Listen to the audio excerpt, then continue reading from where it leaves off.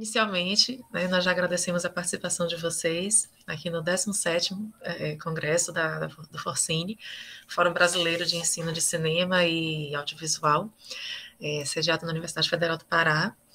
É, essa edição comemora os 10 anos do curso de Cinema e Audiovisual da, da Universidade Federal do Pará e tem como tema é, Conexões e Resistências Audiovisuais, Ações e Perspectivas para Mundos Emergentes.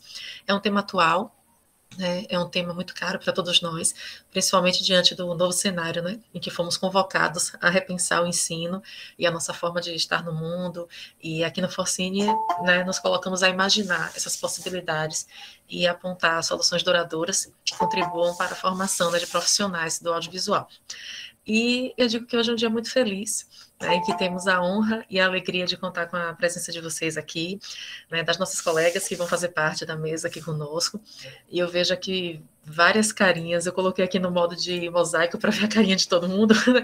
eu estou vendo várias carinhas e nomes conhecidos aqui. E é tão bom a gente estar tá cercado assim, de pessoas né, que vão enriquecer ainda mais esse momento. É, eu sou Doroteia, sou professora da Universidade Federal do Recôncavo da Bahia o FRB, e eu estou aqui junto com a querida Tainá, que acredito que todos vocês conhecem, e quem, a quem agradeço imensamente pelo convite, pela parceria nessa rede, e nós vamos iniciar esse diálogo né, sobre a direção de arte com a criação dessa rede docente aqui no, no Focine. Tainá, eu acho que a gente pode dizer que essa mesa é, hoje aqui no Congresso, de certa forma, marca o início né, dessa, dessas atividades, dessa rede, né, a rede de direção, a rede docente né, de direção de arte, e nós queremos contar com a participação de vocês, não só hoje, mas que vocês façam parte da rede, né, que construam esse diálogo junto com a gente, né, e que acompanhem também as coisas que a gente vai fazer, que com certeza serão muitas atividades, assim espero. Bom, hoje nós contamos com a presença de Ana Paula Cardoso e Milena Leite Paiva, além de mim e Tainá, né, para a gente falar sobre as nossas experiências, trazer novas ideias, poder conversar com vocês sobre o, ensino da, da, direção de arte. E eu vou apresentar essas mulheres fantásticas que estão na mesa. Então, primeiro, Ana Paula Cardoso. Ana Paula é diretora de arte, Deixa eu ver aqui, pessoal. Responsável pela direção de arte de diversos filmes e séries, tendo sido indicado ao Prêmio ABC 2020 de melhor direção de arte com o filme Deslembro. E recentemente, aliás, recentemente não, minha gente, isso foi hoje, Ana Paula foi indicada para melhor direção de arte no Grande Prêmio do Cinema Brasileiro 2021 pelo filme A Febre. Parabéns, viu? De 2015 a 2021, Ana Paula Cardoso coordenou e lecionou no curso de Direção de Arte na Academia Internacional de Cinema do Rio e foi corpo docente da Escola de Cinema Darcy Ribeiro em 2005 e 2006. É, Milena Leite Paiva é pesquisadora, designer visual e diretora de arte, Milena é mestra em multimeios e doutora em artes visuais pela Unicamp. Ela integra os grupos de pesquisa Mantes, Cor, Cariz e Sintaxe Visual da Unicamp e é pesquisadora do Visu, grupo de pesquisa e extensão em arte, imagem e visualidade da cena na UFRB, grupos nos quais ela desenvolve a investigação acerca do pensamento da cor na direção de arte audiovisual. Tainá Xavier que dispensaria apresentações aqui no Focine, mas vamos seguir o protocolo, até porque é sempre muito bom falar de você, né? É, Tainá atua na produção e direção de arte desde 1997 e no ensino de cinema e audiovisual desde 2014. Ela integra os grupos de pesquisa NATLA, Núcleo de Arte e Tecnologia Latino-Americano da UNILA e o grupo NIDA, Núcleo de Investigação e Direção de Arte Audiovisual da UFPE. Ela também faz parte do coletivo Brada, diretora de arte do Brasil. É doutoranda do PPG Cine, da Universidade Federal Fluminense, UFF. É mestre em artes visuais pelo FRJ e é bacharel em comunicação social, cinema pelo UFF. Além disso, ela é professora na SPM Rio. Tainá assinou a direção de arte de vários filmes e séries e, na, e participou da produção de arte de diversos programas da TV Globo de 98 a 2008. E eu, Doroteia Souza Bastos, mediadora dessa mesa, que na verdade é um grande diálogo, a gente chama de mesa, né, tá assim, mas é, é um grande diálogo, vai ser uma grande conversa, e também vou ter um breve momento de fala junto com as colegas. Meio estranho, né, a gente mesmo se apresentar, mas como eu disse rapidamente no início, eu sou professora do curso de Cinema e Audiovisual da UFRB, sou doutora em Artes pela Universidade do Algarve e em Comunicação e Cultura Contemporâneas pela UFBA, sou pesquisadora da área de imagem, tendo experiência em direção de arte, principalmente em publicidade e curtas, em espetáculos teatrais e de dança, e sou líder do Visu, que é o grupo de pesquisa e extensão em arte, imagem e visualidades da cena da UFRB. Bom, apresentações feitas. Eu agradeço a presença de todas vocês, Tainá, Ana Paula, Milena, todas as pessoas que estão aqui assistindo também. É uma grande honra estar com vocês nesse momento, mulheres tão poderosas, fantásticas, fabulosas. E é como eu disse, né? É um início, um início importante e que com certeza vai abraçar né, as nossas pesquisas, as nossas dúvidas, a nossa experiência profissional, as nossas metodologias ou as nossas não metodologias, né, o nosso dia a dia no ensino de direção de arte, no audiovisual, nas diversas modalidades né, de ensino que, que a gente tem. Bom, Feito isso, né, vamos dar início à nossa conversa. É, cada uma de nós vai ter em torno de 10 minutos para a apresentação, um pouquinho mais, um pouquinho menos, né, e após as apresentações nós vamos abrir para as perguntas, né, para mais conversas, para a gente se conhecer mais também. É, então, enfim, né, vai ter esse momento no final, e aí eu espero ter a participação de vocês. Tem uma pessoa, esqueci o nome, gente, acho que é Arthur, a quem eu já agradeço. Eu esqueci o nome da outra pessoa. Arthur. Isso, deixa eu ver. Enfim, vão estar mediando o, o chat. Então, vocês, é, Arthur e Geraldo, pronto. Eles vão estar mediando o chat. Então, qualquer dúvida, qualquer questão que vocês tenham, pode colocar no chat, que aí no final das apresentações a gente faz essa retomada dessas perguntas, tá bom? Então, eu começo falando, passando a palavra para a Tainá.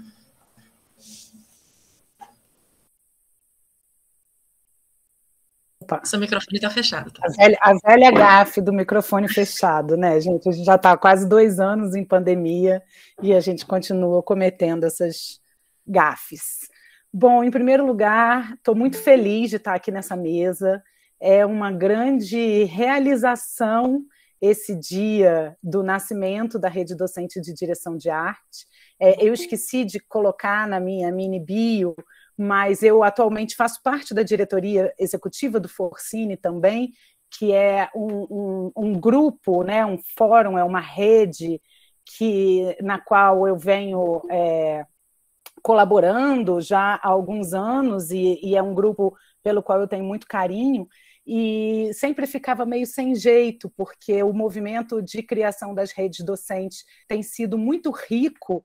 No ano passado, a gente teve um encontro de uma série de redes, no congresso presencial na UFSC, a gente teve o primeiro encontro presencial da rede de produção, e tenho percebido é, como são potentes esses espaços de troca. Então, agradeço demais a Doroteia por ter me dado a força que eu precisava para a gente lançar essa rede no mundo e reforço é, o convite de Doroteia que esse seja um espaço múltiplo, com muitas pessoas e muitas trocas. Então, é, já deixar aqui esse convite. Falar um pouquinho, bem rapidamente, sobre a dinâmica dessas redes. Né? As redes docentes já existem no Forcine, se não me engano, há três ou talvez quatro anos. A primeira rede que foi criada foi a rede de montagem, é, e depois foram sendo criadas várias outras, e as redes são espaços é, autônomos e, e autogeridos é, por professores de escolas associadas do Forcine ou não. Né? São espaços mesmo voltados para o pensamento do ensino, né? para as trocas e diálogos sobre pedagogias, exercícios, bibliografias, e me parece que especialmente na área da direção de arte, né, que é uma área que carece de um referencial mais sistematizado, hoje menos do que ontem, que bom, né? Eu acho que também essa rede faz parte né, do crescimento e da valorização né, desse campo criativo do audiovisual e do entendimento deste campo como um campo do audiovisual. É, então, é uma alegria enorme estar aqui e eu recebo com muita expectativa é, o, o nascimento dessa rede.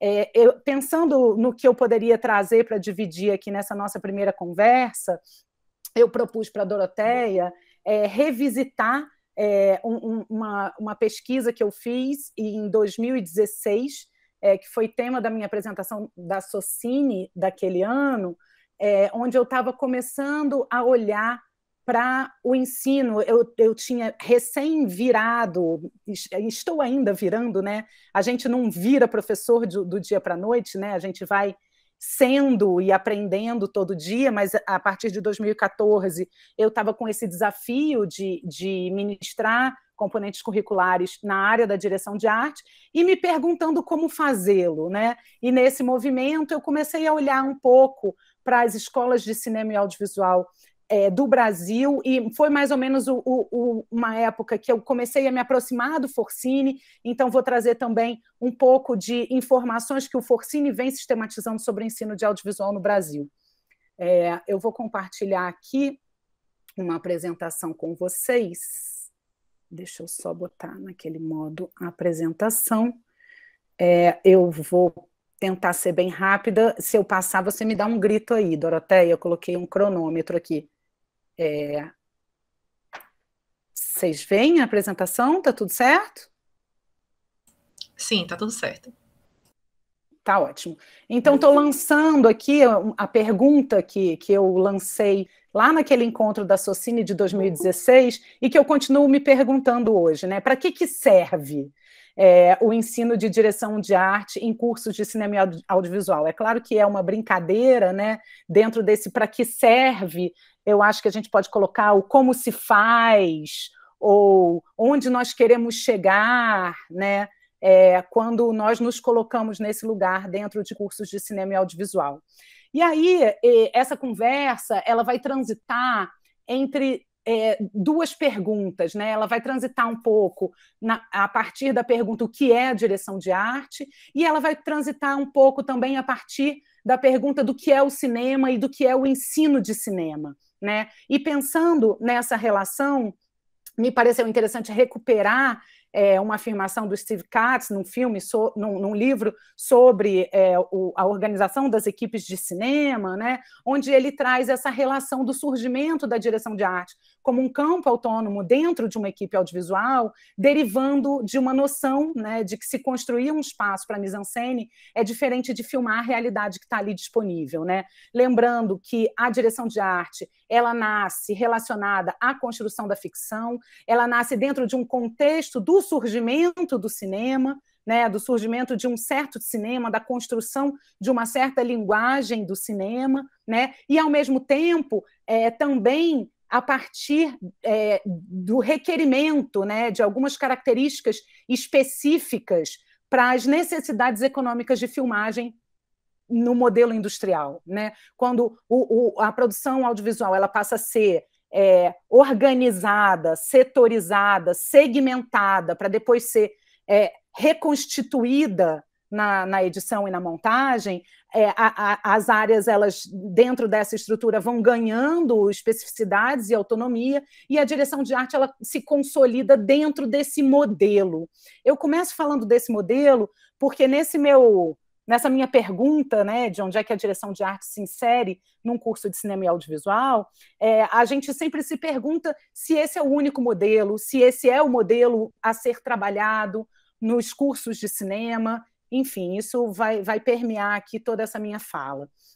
É, no meu olhar, agora, mais para a formação em cinema e audiovisual, eu acho que é interessante a gente recuperar também esse contexto de América Latina. Né? É nessa, nessa, nessa citação aqui do Kim, do Carrete Mágico, ele lembra né, como é que a, a América Latina ela compete em termos desiguais com avanços tecnológicos, os altos custos, né? Ele fala como é que as indústrias aqui na nossa América Latina elas tardam para chegar ao cinema sonoro, né? Trabalham até hoje com é, orçamentos equivalentes a orçamentos de um, de um filme de ficção de Hollywood, né? e, ao mesmo tempo, a gente lida o tempo inteiro com um modelo hegemônico, um modelo narrativo, um modelo tecnológico que hoje em dia, na minha experiência docente, eu tenho visto que tem sido substituído do filme de ficção,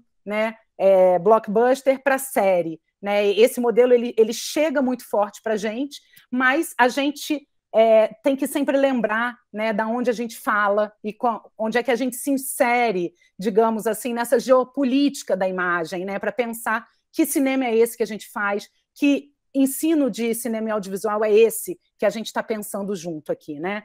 Então, olhando um pouco para para essas semelhanças né, desses contextos latino-americanos, a gente tem os ciclos industriais, né, que aparecem na Argentina, no México, no Brasil, num momento onde essa especialização, essa profissionalização estava sendo entendida por aqui também, e muito a partir da transmissão de conhecimento mestre-aprendiz, né? os ofícios sendo entendidos. Né? E aí, aqui no Brasil, a gente tem alguns estrangeiros, né? Por exemplo, a gente conhece a experiência da Vera Cruz, né, que foi uma experiência industrial bastante ousada que aconteceu nos anos 50 em São Paulo, que traz uma série de, de profissionais estrangeiros né, para ensinarem né, como fazer um cinema técnico e de qualidade. Eu acho que essa questão da técnica é uma questão que também vai permear aqui a nossa conversa, né?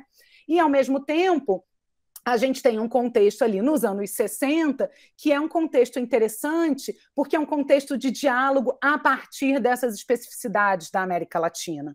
Né? Enquanto ali nos anos 50 a gente tem essas, essas iniciativas industriais tentando alcançar aquela técnica, né? tentando atender aquele modelo, nos anos 60 é, é esse, esse olhar em relação a esse, a esse cinema hegemônico ele se modifica um pouco né? E com os, os cinemas novos surge também né, um grande diálogo continental que me parece que é interessante da gente recuperar quando a gente pensa na gênese das escolas de cinema. Tá? E aí aqui eu estou retomando um texto da Maria Dora Mourão é, e da Luciana Ribeiro, que está num dos primeiros cadernos do Forcinho, onde elas vão é, traçando essa gênese das escolas de cinema do Brasil, né? Então, elas relacionam né, essa, esse desejo de renovação estética ideológica, esse evidenciamento da condição de subdesenvolvimento, a localização, a locação né, como um elemento predominante, são, que são elementos do, dos cinemas novos latino-americanos,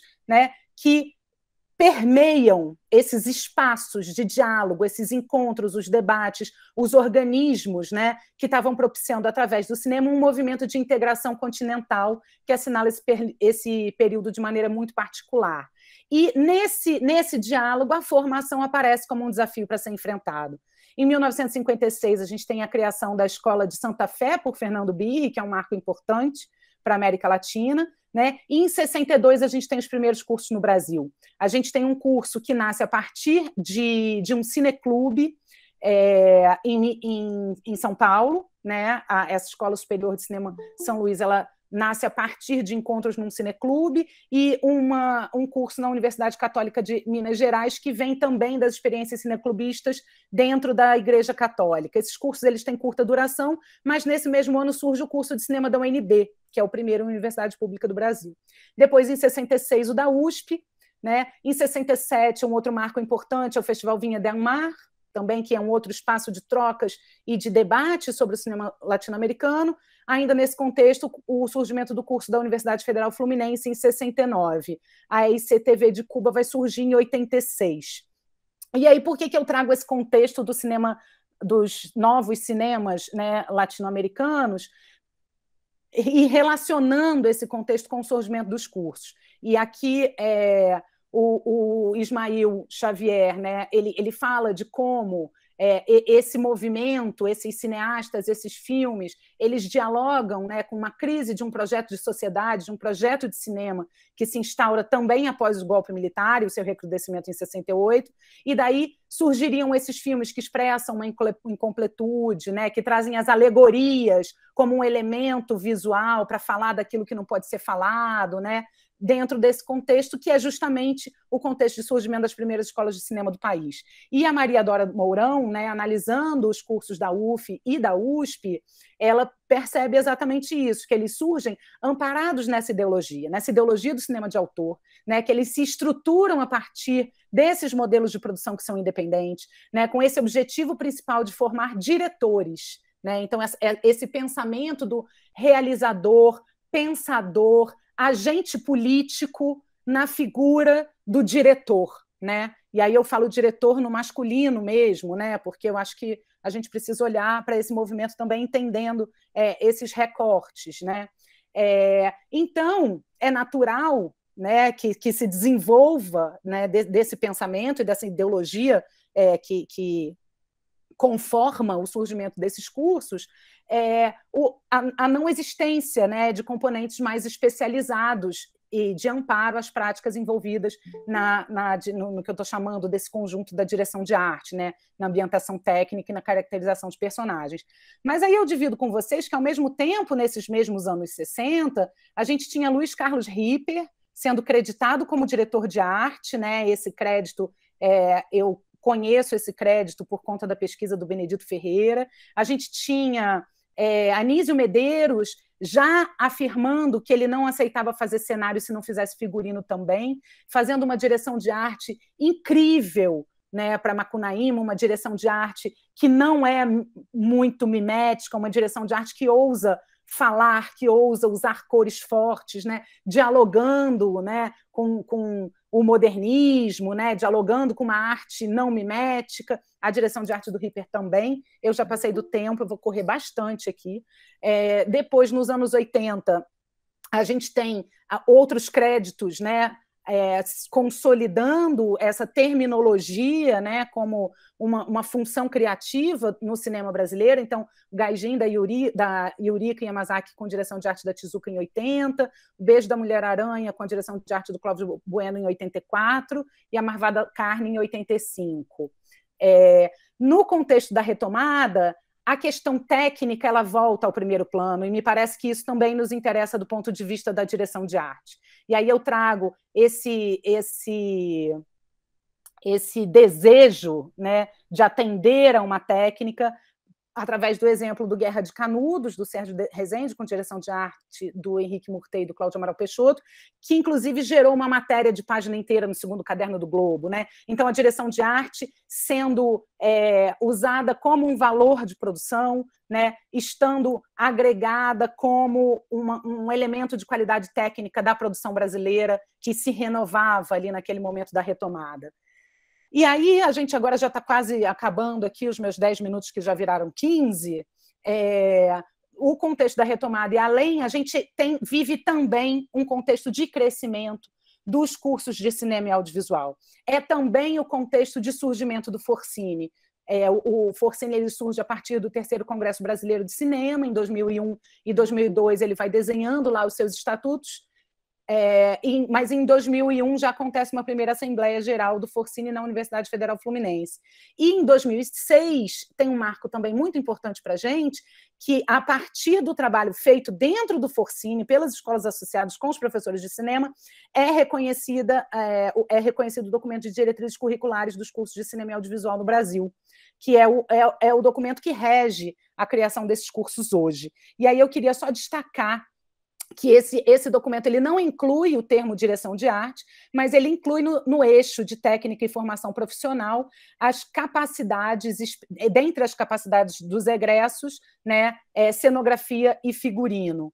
Então, se em 1960 a gente tinha três cursos, a gente pula para 87 cursos em 2016, né? E aí, na verdade, essa pesquisa que eu apresentei lá na Socine, eu fiz um levantamento desses, desses cursos no IMEC e eu fui pesquisando quais ofereciam e quais não ofereciam componentes obrigatórios é, de direção de arte, então eu percebi que os cursos técnicos ofereciam menos componentes em, em direção de arte, que é esse gráfico da esquerda, e os bacharelados ofereciam mais, né?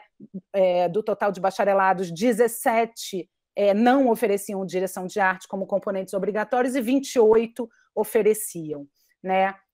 E aí hoje, né, chegamos em 2021, né? É, se a gente em 2016 tinha 87 cursos, em 2020, o último levantamento que a gente fez, quando a gente foi lançar o mapeamento de diversidades, a gente encontrou 184 graduações de cinema e audiovisual no Brasil, é um aumento de 111,4%. E é aqui que eu recoloco né, a pergunta é, do início, né? De, com 184 graduações de cinema, né, com esse pensamento generalista sobre o cinema, e mais os cursos livres, presenciais e à distância, alguns se dedicando especificamente à direção de arte, as pós-graduações lato senso, né, as especializações em direção de arte, as pesquisas acadêmicas em direção de arte de nível de mestrado e doutorado, o reconhecimento da função, né, que vem, vem sendo cada vez maior também por uma luta dos profissionais da área, né? E aí, onde nós estamos hoje? Né? E aí eu jogo essa pergunta aqui para a gente começar a pensar a nossa existência enquanto rede, né?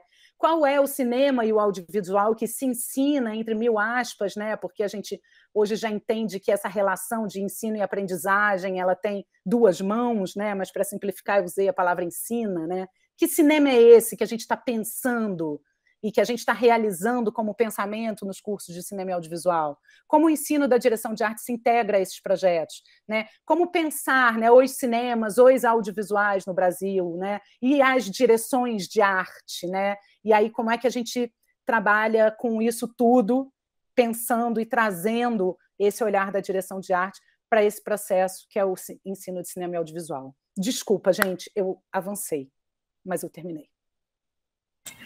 Ô, oh, Tainá, não tem nada que desculpar, não. A gente te agradece. É, eu sou fã da sua pesquisa, né? Depois temos que conversar. Se não fosse pelo tempo, realmente, eu acho que a gente poderia passar aqui uma tarde falando sobre esses números, sobre esses dados, porque realmente é muito importante, né? Para a gente estar tá discutindo isso. Muito obrigada, Tainá.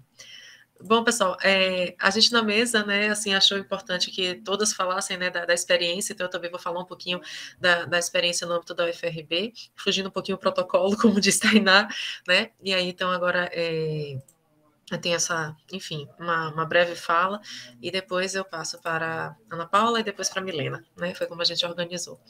Bom, é, como eu comentei no início, eu sou professora, né? Eu tenho lecionado em cursos de graduação em comunicação, dança, teatro, cinema, enfim, desde 2008. E desde 2016 eu estou no UFRB, né? No curso de cinema e audiovisual da Universidade Federal do Recôncavo da Bahia. E eu pude acompanhar a, a trajetória, né? Do ensino da direção de arte na, na UFRB. É, e esse momento de conversa que é, é bem interessante, inclusive porque é, eu estou desenvolvendo um artigo sobre essa experiência, né, de, é, dessa experiência da direção de arte, na, na como, é, como é tratada, né, como campo de formação no curso da UFRB, nesse caso especificamente, né, na, na, UFRB. E a minha fala hoje é mais breve, mas esse artigo será apresentado depois na Socine, enfim, então em outubro, e eu tenho certeza que a participação nessa mesa e a formação dessa rede docente né, já vão fazer a diferença nesse olhar sobre o ensino da direção de arte, né?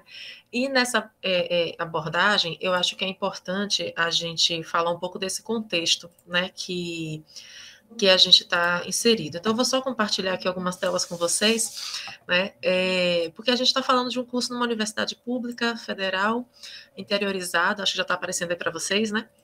Então, pública, federal, interiorizada, é, no Nordeste, no interior da Bahia, na cidade histórica de Cachoeira. Minha gente, cidade histórica e heróica, viu? É, quem não conhece, por favor, vamos conhecer Cachoeira. É, é berço da nossa independência, né, da Bahia, do Brasil, enfim, bom. E o curso de cinema na, é, na UFRB, né, na cidade de Cachoeira, foi idealizado por um conjunto de, de, docentes né, da área de comunicação, e o curso já tem 13 anos, né, começou em 2008, já tem várias turma, turmas formadas, né, vários prêmios conquistados, e é um curso que tem nota 5, né, nota máxima do MEC, graças ao esforço coletivo de professores, de estudantes, de técnicos, né, e é um curso que é, hoje, essa é a imagem né, da, do prédio da gente, né, do CAL, que é o Centro de Artes, Humanidades e Letras, lá em Cachoeira. Bom, eu chego ao FRB em 2016 e não havia nenhuma disciplina de direção de arte, né? Havia o curso já desde 2008 e havia o interesse em ter uma docente que pudesse atuar nessa área, né? Tanto que a minha contratação incluía a disciplina de direção de arte, entre tantas outras, mas não havia área, né? Nós não tínhamos direção de arte como componente curricular. Aqui é a matriz do curso, talvez vocês nem consigam ver, porque está realmente muito pequenininho, mas a ideia é só mesmo assim mostrar, mas a questão é, não temos realmente é, é, a disciplina, né, direção de arte. Bom, é, e aí, é, até hoje a gente não tem, né, não, não só na, na, minha chegada, mas até hoje a gente não tem essa, essa disciplina né, de direção de arte. Então, eu ministro conteúdo de direção de arte em disciplinas que a gente chama de ementa aberta, né, sejam optativas ou que a gente chama de oficinas orientadas, que no caso são oficinas que vão desde a oficina 1 até a oficina 6, começa no segundo semestre, né, então vai até o sétimo semestre, oficina 1, 2, 3, 4, 5, 6, haja oficina. e estamos falando de um curso que tem um total de mais de 3.500 horas, né, de atividades, entre disciplinas obrigatórias, optativas, eh, atividades complementares, trabalhos de conclusão de curso, E dessas 3.500 horas, nós não temos, como eu disse, nenhuma carga horária destinada oficialmente ao ensino da direção de arte. Né? Mas isso está para mudar, porque a gente está reformulando a matriz, né? é o interesse coletivo que isso mude. Então, a gente está reformulando a matriz curricular e direção de arte vai fazer parte oficialmente da matriz, inclusive como disciplina obrigatória. Inclusive, eu estou até articulando a criação de algumas disciplinas optativas né, nas áreas de cenografia, caracterização, enfim. Né? Então, a gente pode dizer que esse diálogo mais formal é, sobre direção de arte na UFRB teve início com a chegada de uma docente à instituição, mas ainda há um longo caminho né, a ser percorrido. Isso também muito por conta do histórico do curso, de ser um curso voltado para documentário, né, ter esse foco, tanto que assim, era com ênfase em documentário, isso fazia, ainda faz parte do curso. Então, com essas mudanças também, acho que tem uma abertura para outros caminhos. E aí, é, eu acho é, que fora isso, assim, o panorama que eu vejo hoje do curso da FRB não é muito diferente do que eu converso com alguns colegas de outras instituições ainda que a gente tenha muitos programas de pós-graduação que estejam abrigando pesquisa sobre o tema, né, as bibliografias ainda são muito escassas. Então, quando a gente chega nas, nas bibliotecas dos cursos, a gente tem pouquíssimos, quando a gente tem né, algum livro que trate de algum tema é, é, da direção de arte, e principalmente em língua portuguesa né, para a gente aplicar como uma bibliografia básica. Então, existe um esforço né, para encontrar materiais mais direcionados aos temas, às matérias da direção de arte, né, e o próprio entendimento do que é a direção de arte, porque assim, foi como a Tainá falou, será que é ensinar a direção de arte, né, será que é essa a palavra, será que é isso? Porque assim, qual é o entendimento que a gente tem da própria direção de arte e a abrangência do termo, né, isso também encontra, nem, nem encontra consenso entre os nossos pares, né, ou, no, ou nos ambientes de aprendizagem, no próprio mercado, eu lembro que recentemente a gente estava discutindo isso na Brada, que é o coletivo né, que a gente participa, que dependendo do tamanho da produção, dependendo dos interesses e das pessoas que estão envolvidas, a própria função da direção de arte encontra caminhos bem diferentes. Né? Então, como é que a gente abraça tudo isso? Como é que a gente abarca todos esses conteúdos e todas essas variáveis, né? ou em uma disciplina, ou em um conteúdo, né? Enfim, é, acho que são desafios que a gente tem realmente, né? De pensar é, em relação à direção de arte. E ainda mais quando a gente está falando de cinema, né? E ainda mais de filme, propriamente, porque, é, de, de, de, certa forma, isso também bate numa questão metodológica, né? E eu me arrisco a dizer que as lacunas são ainda maiores quando a gente pensa na metodologia, porque, claro, temos uma metodologia de ensino de uma forma geral, mas especificamente em relação à direção de arte, não há né, como alguns campos do saber, né, que tem uma metodologia própria de ensino já testada, enfim, averiguada. Então, a gente busca compatibilizar, pegar a experiência do ensino de outras disciplinas, né, de outras coisas que já fizemos no mercado, e, por um lado, isso é interessante, porque isso nos faz buscar subsídios em outras abordagens, né, em outras experiências, mas é complicado quando a gente está na tentativa de, de, como eu falei, de abarcar mesmo essa complexidade do ensino, de um tema tão diverso. E aí, é, até se a gente observar o projeto pedagógico do curso da UFRB, né, lá aponta que a atuação do o campo de atuação do estudante egresso, né, que é uma preocupação que a gente tem né, com os nossos egressos, e, e, eu sempre falo assim, a gente tem, tem que saber balancear né, essa questão da pesquisa acadêmica e do mercado, porque de alguma forma a gente está formando pessoas que vão atuar no mercado, nem todo mundo vai ser pesquisador, nem todo mundo vai ser é, é, um teórico do cinema, muitas pessoas saem dali para colocar a mão na massa, né? Então isso tem que estar tá muito junto, a gente não pode separar, a gente não pode dissociar é, essas coisas, mas a gente sabe que existem ainda algumas resistências, né, de falar de mercado, né, de falar dessa questão mais prática, mas enfim, o próprio projeto político-pedagógico do curso, ele aponta que o, o, campo de atuação desse estudante vai compreender várias áreas, como produção, direção, fotografia, inclusive porque isso são diretrizes do MEC, né, para quando a gente vai fazer o curso. Então, mas isso também inclui cenografia, figurino, animação, enfim. É, e apesar de ter alguns termos como cenografia, figurino, nesse elenco né, de áreas de atuação do egresso, é, isso não abarca a direção de arte e todas as diversas funções do departamento de arte. Né? Então, também assim, a gente tem que perceber o esforço coletivo que é necessário para que a gente possa cada vez mais estar falando desses temas, não só quando a gente tem a disciplina de direção de arte, né? mas quando a gente está falando de cinema e de audiovisual de uma forma geral. E é claro que, enfim, essa, essa lacuna né, também se deu por conta do material humano né, que havia na época que foi lançado o curso, e eu acredito que agora a gente possa pensar de uma forma mais ampla, mas também pensando muito nas especificidades da direção de arte, né, desses conteúdos, né, dessas referências trabalhadas na arte, eu acho que podem contribuir é, para uma amplitude realmente assim e expansão das práticas no cinema. E principalmente pensar essa questão do audiovisual, né, não apenas o cinema, o audiovisual como um todo, que é um outro mundo, né? E aí, é, só para pontuar alguma dessas questões, né? É, tem algumas estratégias, eu, eu, acho que eu, eu, chamo de estratégias, né?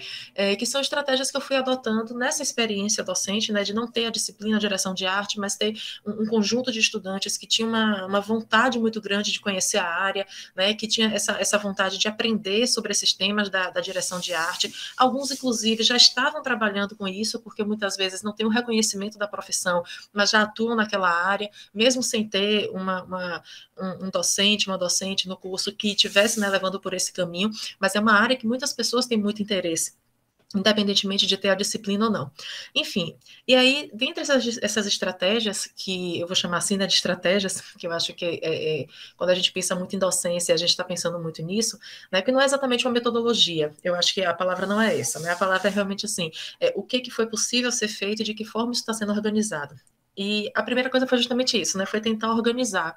É, tentar organizar a disciplina, é, ainda que não fosse com o nome de direção de arte, né, de tal forma que os estudantes concluam a, a disciplina com a criação de um projeto de arte ainda que seja um projeto experimental, incipiente, mas que já tem uma ideia de concepção visual, de composição visual. E claro que várias dificuldades aparecem. Professora, qual é o modelo? Não tem modelo, né? Então, assim, é fazer com que o estudante também ele encontre é, é, a forma que ele tem de, de, de colocar ali visualmente as ideias que ele tem, porque isso vai ser apresentado para alguém.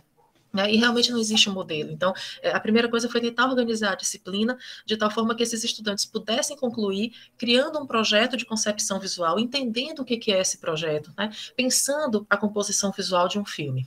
É, outra estratégia foi contar com a participação de convidados e convidadas na disciplina. E, gente, eu falo isso com muita felicidade, porque, é, inclusive agora nesse período remoto, isso foi facilitado porque, assim, pessoas que às vezes estavam muito, muito distantes, né, e que a gente não tinha como ter esse contato, pagar passagem, essas coisas que a gente sabe, né, que tem esses entraves, e a gente pôde, através dessa tela, por mais que essa tela não seja uma tela que inclui todo mundo, a gente sabe que não, a gente sabe que tem deficiências, a gente sabe que nem todo mundo está tendo essas possibilidades, mas através dessa tela a gente conseguiu ter vários convidados né? Porque, de alguma forma, é, vai parecer uma lamentação, mas eu acabo ficando muito sozinha, né? E essa é a palavra, assim, todas as disciplinas de arte do curso ficam concentradas em uma docente, né? Então, direção de arte, história da arte, é, é, expressões, linguagens artísticas, enfim. E, ao meu ver, isso limita muito o estudante, porque o estudante vai sair formado na arte de Doroteia.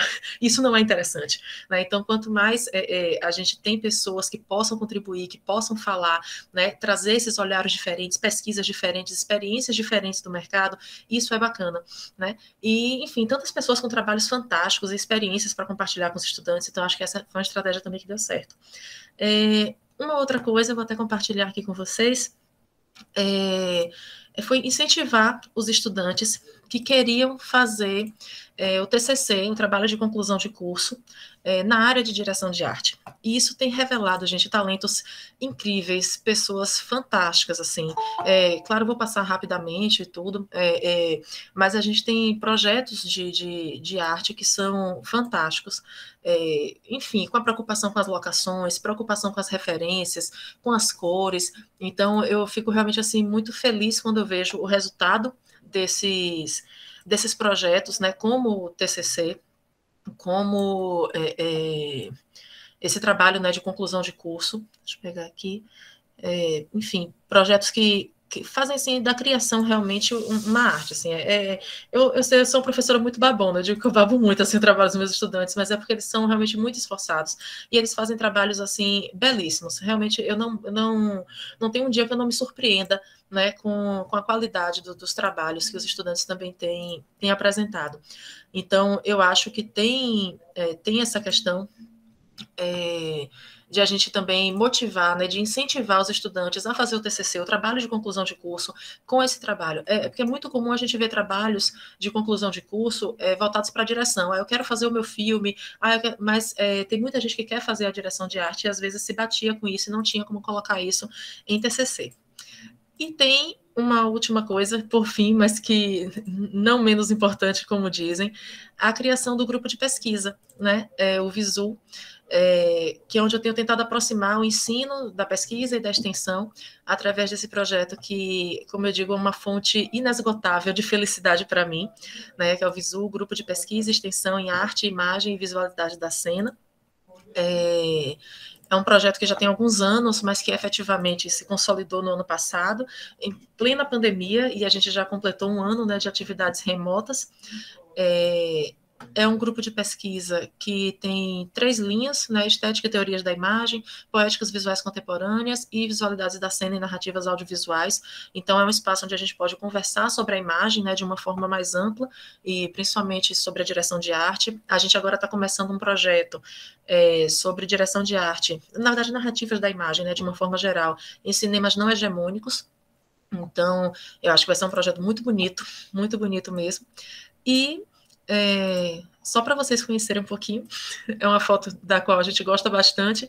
Foi a foto do nosso ano de, de comemoração do Viso. Não estão todos aí, mas tem aí uma, uma boa parte. Inclusive, alguns estão aqui no, é, nessa apresentação também. Agradeço a presença.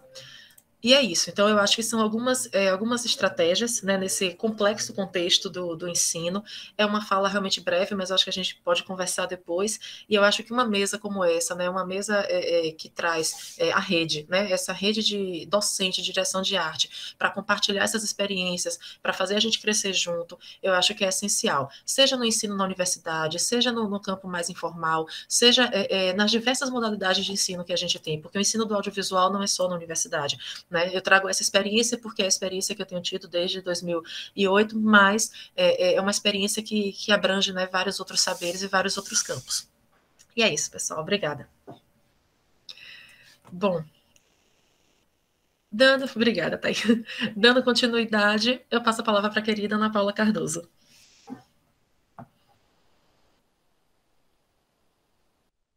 Obrigada, Doroteia. É, então, é, boa tarde a todos, todas, todes. É uma alegria estar aqui debatendo questões relativas à direção de arte e ao ensino da direção de arte, e já aprendendo muito. É, complementando a apresentação da Doroteia, eu sou cenógrafa é, pela Escola de Belas Artes da UFRJ há 23 anos. Mas, diferente das minhas colegas de mesa, depois eu não voltei para a academia para dar sequência a alguma pesquisa ou sistematizar um pensamento ou criar uma ferramenta pedagógica.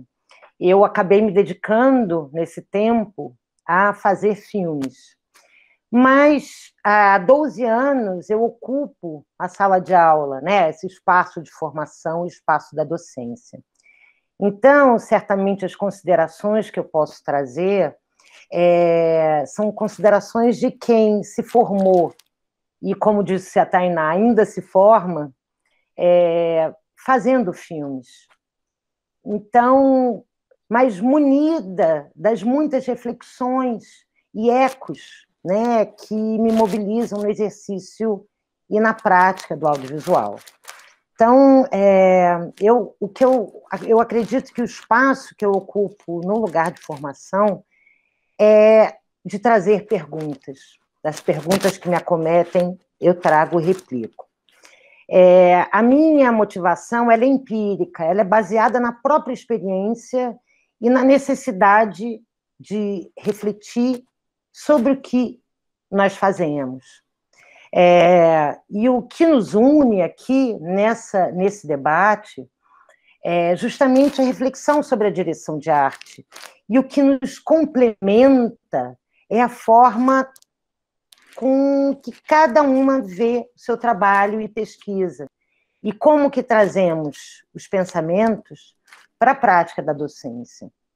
É, Indo um pouquinho além da fala da Tainá sobre o que é a direção de arte, é, eu penso que, na verdade, não interessa saber o que é a direção de arte, mas sim o que ela é capaz de produzir. Né? E nesse pensamento, é, eu percebo que o fundamental a perseguir é o estado das coisas que fazemos, né? não inicialmente a forma ou a materialidade, mas o estado, né? a alma do que a gente faz. E, e sob essa perspectiva, eu acho que tem uma coisa que é realmente transformadora, que é o exercício ou a prática de fazer as conexões sensíveis, buscá-las e fazê-las. Né? E eu acho que é nesse lugar que a direção de arte pode atuar. É, é, citando também é, o Luiz Carlos Ripper, ele, enfim, que é um diretor de arte, figurinista, iluminador, que criou uma identidade visual francamente brasileira, é, baseada em valores identitários, é, e fugiu dos padrões né, do cinema norte-americano. É, ele dizia que o ele disse que o trabalho de um diretor de arte é como um jogo de cabra cega, né? Fecha-se os olhos, estende a mão e tenta alcançar no roteiro o ponto nevrálgico, né? O ponto essencial, o ponto significativo. E essa pode vir a ser a matéria-prima do trabalho. É, então, é, o diretor de arte, a diretora de arte, pensa e cria o universo visual através de uma conexão sensível, muitas vezes invisível, e, e, e tem como ofício é, oferecer ao espectador a vivência da narrativa através dos aspectos visuais atrelados a essa conexão sensível, a esse estado, né? Então, é, eu volto a dizer, não, não, muitas vezes eu penso que o ponto não é saber, que não, que não é exatamente interessante saber o que é a direção de arte, e sim o que ela pode fazer, o que ela pode é, provocar, né? É, qual seria a chave de leitura para que num campo muito distante da cognição, da elaboração mental, né, algo seja de fato provocado. É, seria uma, uma, uma relação sinestésica? Eu acho que, no fundo, é isso que a gente espera e deseja criar. Né? Uma provocação que seja é, da sensação né? e do sensível. E que crie um cruzamento de estimulações e de provocações. É, é, a Gestalt nos diz que é no conjunto da, dos estímulos que se dá a imagem, né? E que os elementos se cruzam, se entrelaçam, se completam. E quando, e quando a gente fala de elemento, não estou necessariamente falando de objetos ou coisas, né? São valores, né? São atribuições que os estímulos têm, né? É, o estado deles. Né? Eu insisto muito no estado das coisas que produzimos, né?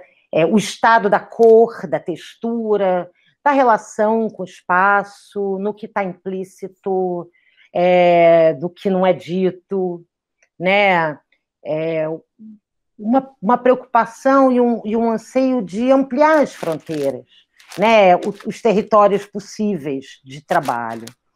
E, e borrar esses limites e definições, né?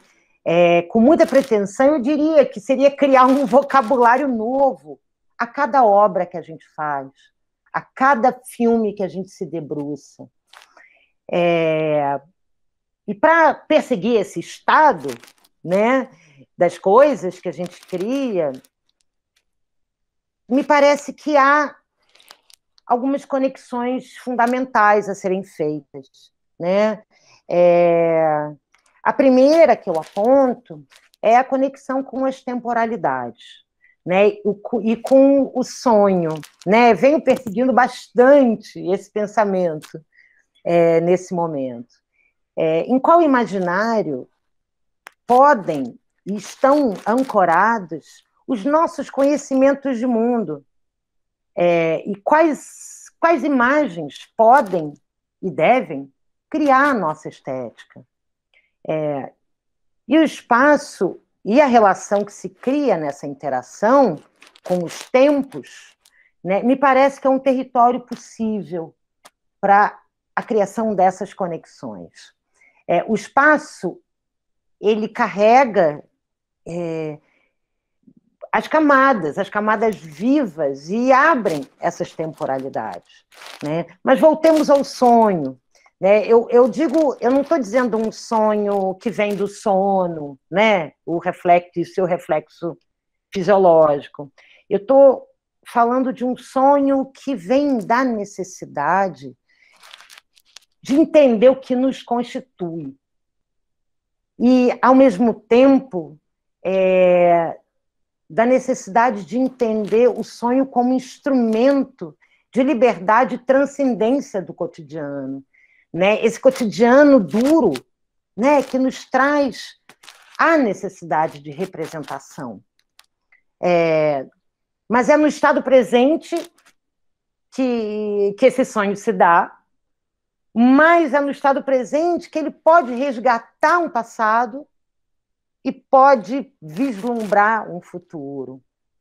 É, uma vez eu ouvi o Tiganá Santana falando, e ele falou: a, a, a memória não é o passado, é o presente atualizado.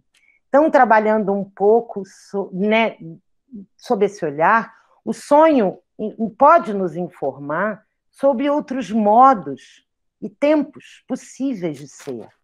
Né? Então, evocando novamente as temporalidades, a matéria-prima do que a gente faz pode visitar essas três dimensões de tempo. Né? A ancestralidade, o que é da memória, é, o presente e a possibilidade de futuro. É, e os tempos eles estão ou podem estar contidos no mesmo espaço. É, na minha opinião, é, quando a gente entende essa implicação do tempo, a gente tem condição de trazer aspectos mais complexos para a imagem, pois que eu acho que é nesse diálogo que, que a gente cria uma base para a gente se movimentar num universo simbólico. E esse diálogo é uma conversa poética, né? Porque a gente menciona outras forças, outros pertencimentos, né? Tem um filme que provavelmente todos conhecem ou muitos conhecem, que para mim é uma espécie de síntese é, de tudo isso que a gente está falando, que é o Nostalgia do Tarkovsky. É, nesse filme tem elementos que cruzam todos os tempos, né? E esses elementos eles são livres em todas as dimensões né, aos elementos fantásticos, aos elementos reais. É, e o que eu proponho na docência, né, é, trazendo aqui para o foco né, dessa mesa e dessa conversa, é uma espécie de subversão da nossa maneira de criar. É, me desculpe se é bastante prepotente essa fala, é, mas é porque eu acho que o nosso pensamento está estruturado muito no lugar da representação, da retratação, né, da demonstração. E o que é, eu pretendo propor é, é, a não criação de uma narrativa visual de causa e efeito, né, linear, é, da representação do real, mas sim a possibilidade é, da gente criar uma, uma, uma analogia simbólica, né, aproximando o texto né, da imagem. E proporcionar ao espectador estar tá diante de algumas chaves de leitura. É, dele, assim, do, do, do espectador poder criar relação entre os personagens, e os espaços que ele ocupa, os espaços sensíveis, as atribuições da imagem é, e as possibilidades de um lugar vivo, de um lugar de pulsão. É, é dar corporeidade a esse espaço, né, de criar uma base para se movimentar no universo simbólico. E com qual iconografia a gente escolhe se relacionar? Para sair do lugar dessa representação e da narrativa linear. Né?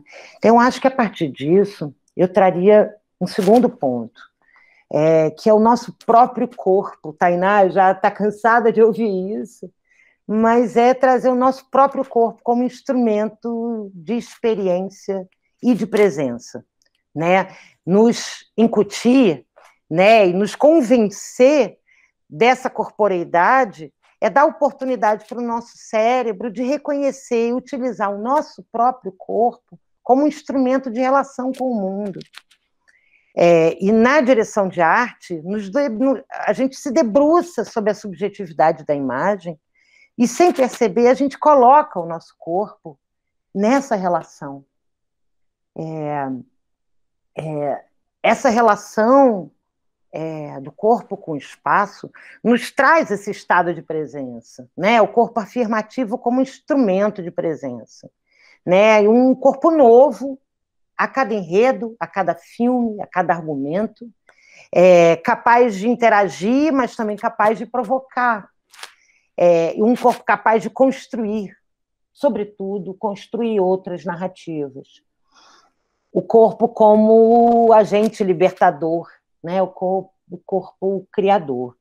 E sendo assim, a partir desse corpo potente e afirmativo, é, eu trago uma terceiro, um terceiro ponto, que é a necessidade latente, sobretudo no momento em que a gente está vivendo, de trazer a produção de sentidos através da imagem como encruzilhada, como espaço possível de deslocamentos e de encontros.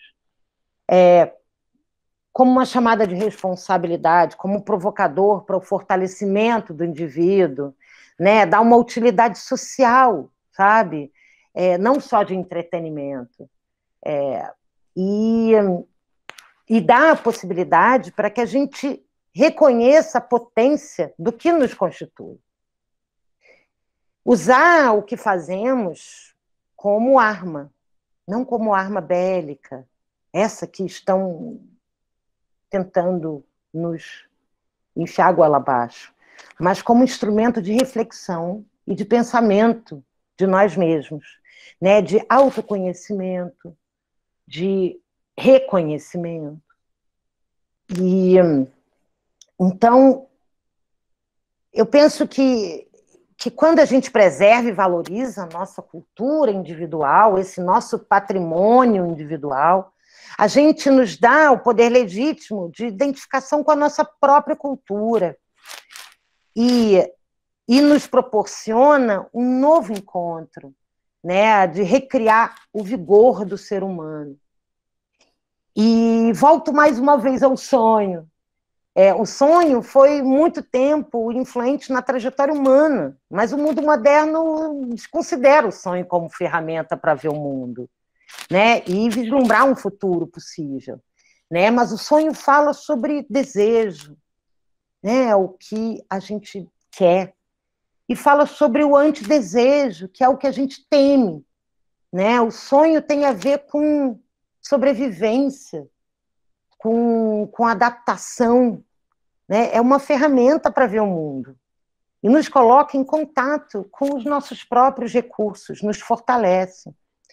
É, então, sempre me chamo para a responsabilidade de estabelecer um recorte no trabalho. Qual recorte? Né? Qual, ref, qual reflexão e sobre qual ponto?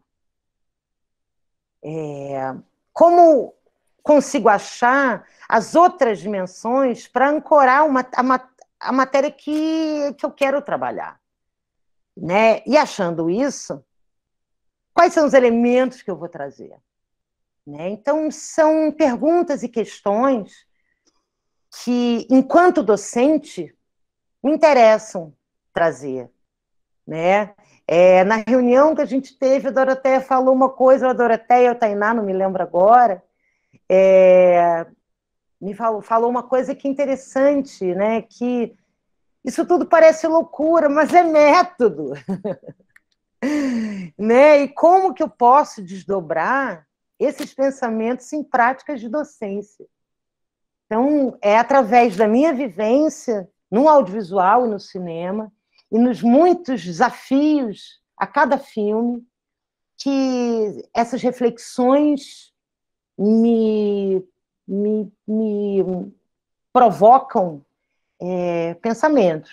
E são esses pensamentos que eu trago para a sala de aula, ou para as montagens, ou para os TCCs, ou para as orientações, enfim.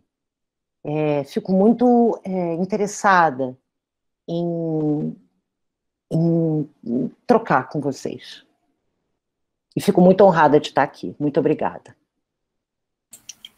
Ana Paula, obrigada a você. A gente que fica muito honrada com a sua presença, sua fala, essas reflexões realmente são muito importantes para a gente, ainda mais uma pessoa com a experiência que você tem, com o olhar que você tem para o cinema, para a direção de arte, com certeza. Muito obrigada a você. Pessoal, então eu passo agora a palavra para Milena. Milena, cadê? Ah, tô vendo Milena aqui. Mia, com você. Tá certo, eu vou só abrir aqui a, Tá, só lembrar o pessoal que pode fazer pergunta no chat, que o pessoal vai estar moderando e depois passando para a gente, tá? Então, quando Milena encerrar a fala dela, a gente pega as perguntas e vai conversar um pouquinho sobre tudo que a gente falou aqui, tá bom?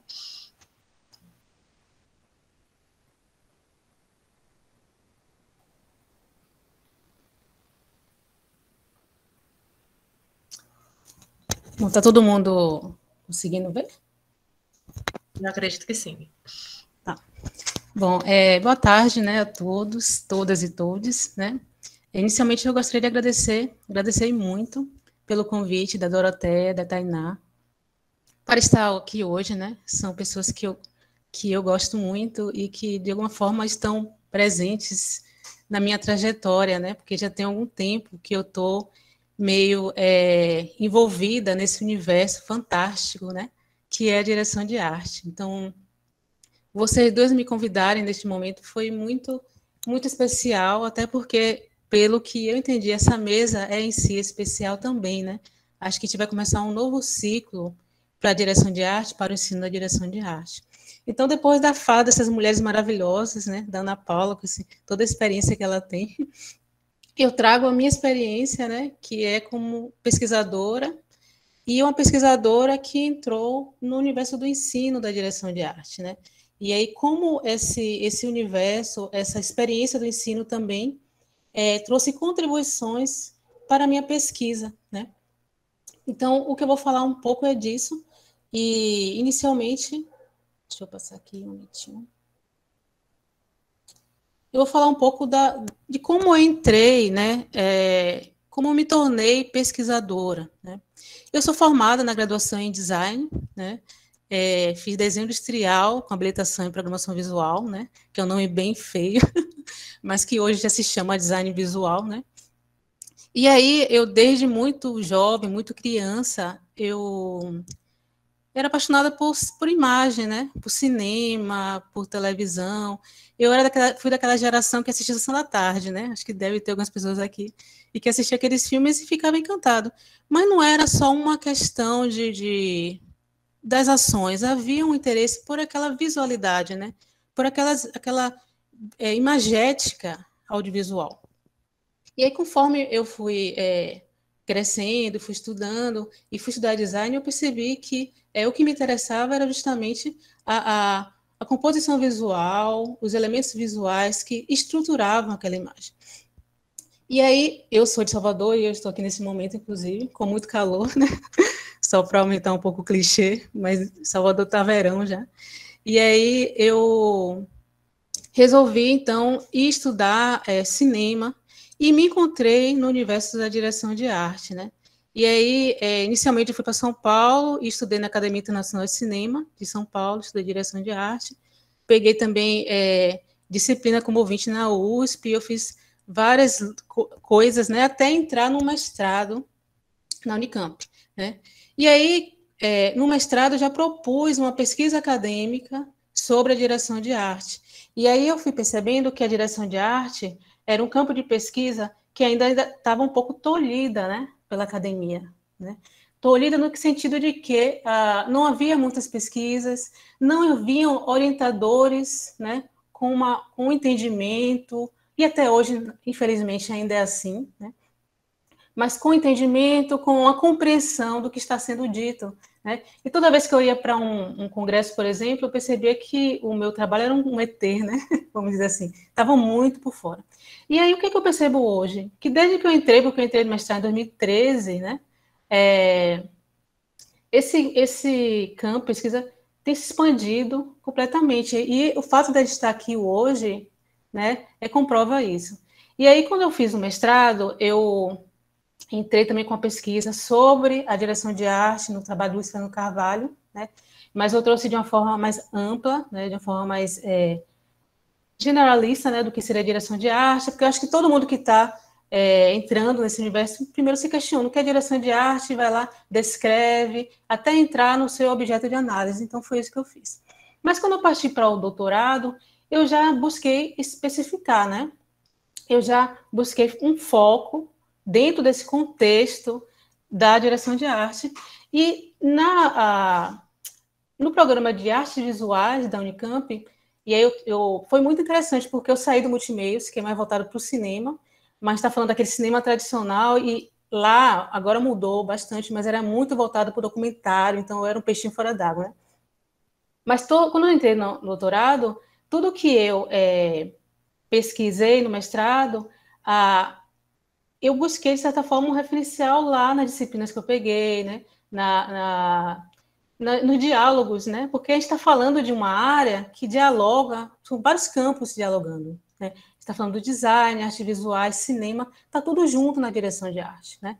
E aí, por isso que é, eu me encontrei nas artes visuais no sentido de buscar esse recorte né, para a minha pesquisa. E aí eu entrei no grupo pesquisa, que é o MANTES, né, Cor, Cariz e Sintaxe Visual, que a minha primeira orientadora, ela era a coordenadora, e aí ela foi me ajudando a fazer esse recorte, né, o que, é que eu quero pesquisar agora na direção de arte. E aí eu percebi que a cor, né, que é um elemento que eu sou apaixonada, era, era é, o, o, a pesquisa sobre a cor na direção de arte não praticamente é inexistente. Claro que muitos autores traziam isso, né? É, havia sempre numa análise de uma obra havia uma uma é, uma análise da cor de alguma forma, né? Mas não nada é, não muito aprofundado, né?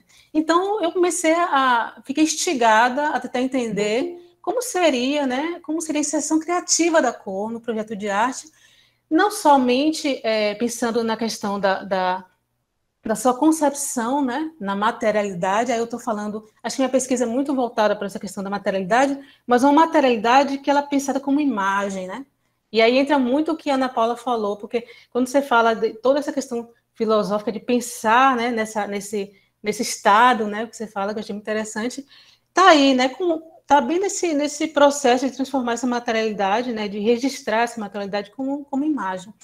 E aí eu eu comecei a construir, né? Comecei a, a, a, a conceber nessa, como seria esse pensamento da cor na direção de arte, né? E aí, como é que ficou o título final da tese? Ficou da cor material à cor diegética, o pensamento da cor na direção de arte, né? Porque eu trago uma, um, também uma discussão teórica, né? Aí por isso que eu trago a questão da cor material, da cor diegética, que são questões que é, não cabe aqui, né? O tempo é muito pouco mas que eu, eu, eu discuto né, teoria, mas também metodologia, né? Porque é, tem uma teoria que se relaciona com uma prática, né? Como é que há essa relação? E aí, o que, é que eu faço? Eu busco sistematizar uma metodologia de criação de paleta de cores, né? Porque a criação da paleta de cores é, é eu, eu considerei como um processo principal relacionado à cor, ela é realizada pelo diretor de arte, pelo, pelo é, departamento de arte, na produção de um filme ou de uma série. Aí eu estou falando audiovisual como, como um todo. Né? Então, o que é que eu fiz? Eu, eu realizei uma abordagem, né, como eu coloquei aqui, teórica e metodológica da exceção criativa da cor no projeto de arte e que se desdobrou em um projeto prático, né? E aí, até foi o que a gente estava conversando na nossa reunião, né? Não tem como falar de direção de arte sem falar de prática não tem como. E eu pesquisando de uma forma teórica, eu senti uma necessidade, porque como artista também, de elaborar um projeto prático que estava ali relacionado com a minha pesquisa. A pesquisa necessitava disso. Né? Então, é, essa sistematização, essa metodologia né, de criação de paleta de cores que eu criei, eu é, coloco em prática na elaboração de um projeto de paleta de cores. Né? Então, o meu projeto, o meu, minha tese foi estruturada dessa forma, né? Teoria, metodologia e projeto prático. Né? Mas como é que entra o ensino aí, né? Porque esse é o tema da, da, da mesa, né? E de uma forma super inocente, ou assim, é, sem, sem, sem muito planejamento, né? Durante o doutorado, eu acabei é, entrando numa instituição de ensino superior, né? É, lá em Campinas, onde eu morava no momento, né? Que é o Unimetrocamp, e eu fui lecionar direção de arte audiovisual para um curso de produção de visual. Aí o que é muito interessante, porque é difícil encontrar né, esse componente em cursos, e esse, esse curso era justamente um curso de curta duração, dois anos, e estava lá, direção de arte. E é, havia uma carência né, de, de, de, dos alunos sobre esse tema, eu percebo isso muito forte, inclusive na Unicamp, né? A Unicamp, é, eu percebo que os alunos, eles são muito interessados, mas não tem também a disciplina como uma disciplina obrigatória. Então, há toda essa discussão né, sobre isso que a gente tem que levar adiante né, a partir de agora. Né? Então, como é que o ensino da direção de arte ela se tornou o suporte da pesquisa? Esse que eu vou falar um pouquinho, né? Aqui, rapidinho, só para ilustrar um pouco o que eu é, fiz no meu doutorado, aqui só é o início, né, da parte teórica, para sustentar, né, todos os conceitos teóricos que eu criei, eu analisei a a novela Meu Pedacinho de Chão, do Fernando Carvalho, que tem uma narrativa visual, que tem um, um, uma narrativa da cor, né? um cromatismo super interessante, e que a materialidade né, da direção de arte, ela flora. Eu, eu digo que, ela, que a, o espaço da cor né, na imagem, ela está construída pelos elementos da direção de arte. Né? Então, é só um, uma imagem que eu coloco para ilustrar um pouco isso para vocês. É passar aqui por causa do tempo, né? Eu vi que todo mundo. Bom, e aí como é que entra a questão do ensino? Como eu falei, eu entrei nessa instituição para dar aula, e aí eu me vi também, como todos aqui, né, com uma, uma disciplina para eu ministrar, e de certa forma toda aquela estrutura, todo aquele, aquele pensamento acadêmico que eu estava construindo, cabia e não cabia, né? Porque a gente está falando de uma coisa que deve ser mais didática, né? A gente tem que ter um método de ensino que, que funcione para aqueles jovens. Eu não estou falando de, de nível de, de mestrado, estou falando de nível de graduação e de uma graduação que vai para a prática, porque é um curso tecnológico, então. Né? E como é que faço isso? Né? Inicialmente, eu me vi é, numa atuação como docente, artista e pesquisadora. Né? Eu, de certa forma, eu me juntei nesses, como três em uma, em uma só, porque eu estava ali como professora, mas eu era um artista que estava em busca também do meu projeto né? E eu estava pesquisando, né? E aí a, não havia material didático sobre, não há, na verdade, né? Vamos dizer, um material realmente simples de uma, de uma, de uma leitura que, que o entendimento seja muito mais claro. Não há, né? Claro que a gente traz alguns livros, né, que, que já foram editados, né? Mas é, eu percebo que é, um livro que de fato tem uma linguagem simples e que o aluno se, se identifique e consiga entender o que está sendo dito, né, para além das aulas, né, é, eu percebo que a gente precisa ainda pensar nisso. Né? E aí, é, e dentro desse contexto, imagina o ensino da cor, né? E aí foi algo que eu também fiquei refletindo, né? Se a direção de arte já tem um pouco essa inexistência, né, de, de material, imagine o ensino da cor, né? É tudo tratado de forma muito superficial. E aí, é, nas minhas disciplinas, eu também estava ali é, iniciando, né? E eu também estou em processo de formação como, como professora, né? Todos nós estamos o tempo todo em formação, né? Como a gente falou. E aí eu acabei transformando aquele espaço ali como espaço de experimentação, né? Não só para os alunos, mas para mim também, né? E aí, não acabou que essa experimentação, ela, ela meio que, que saiu do limite daquela sala, daquela instituição privada que eu dava aula, e eu acabei também é, fazendo atividades com os alunos da Unicamp, né, do curso de arquitetura, do curso de artes visuais, do curso de mediologia, e tudo isso acabou me, me, me dando subsídios, né, para eu, eu é, seguir adiante na minha pesquisa, né, seguir adiante no que eu estava observando, porque, como eu coloco aqui, foi possível observar métodos, processo de criação é, a partir dessa, dessa prática em sala de aula.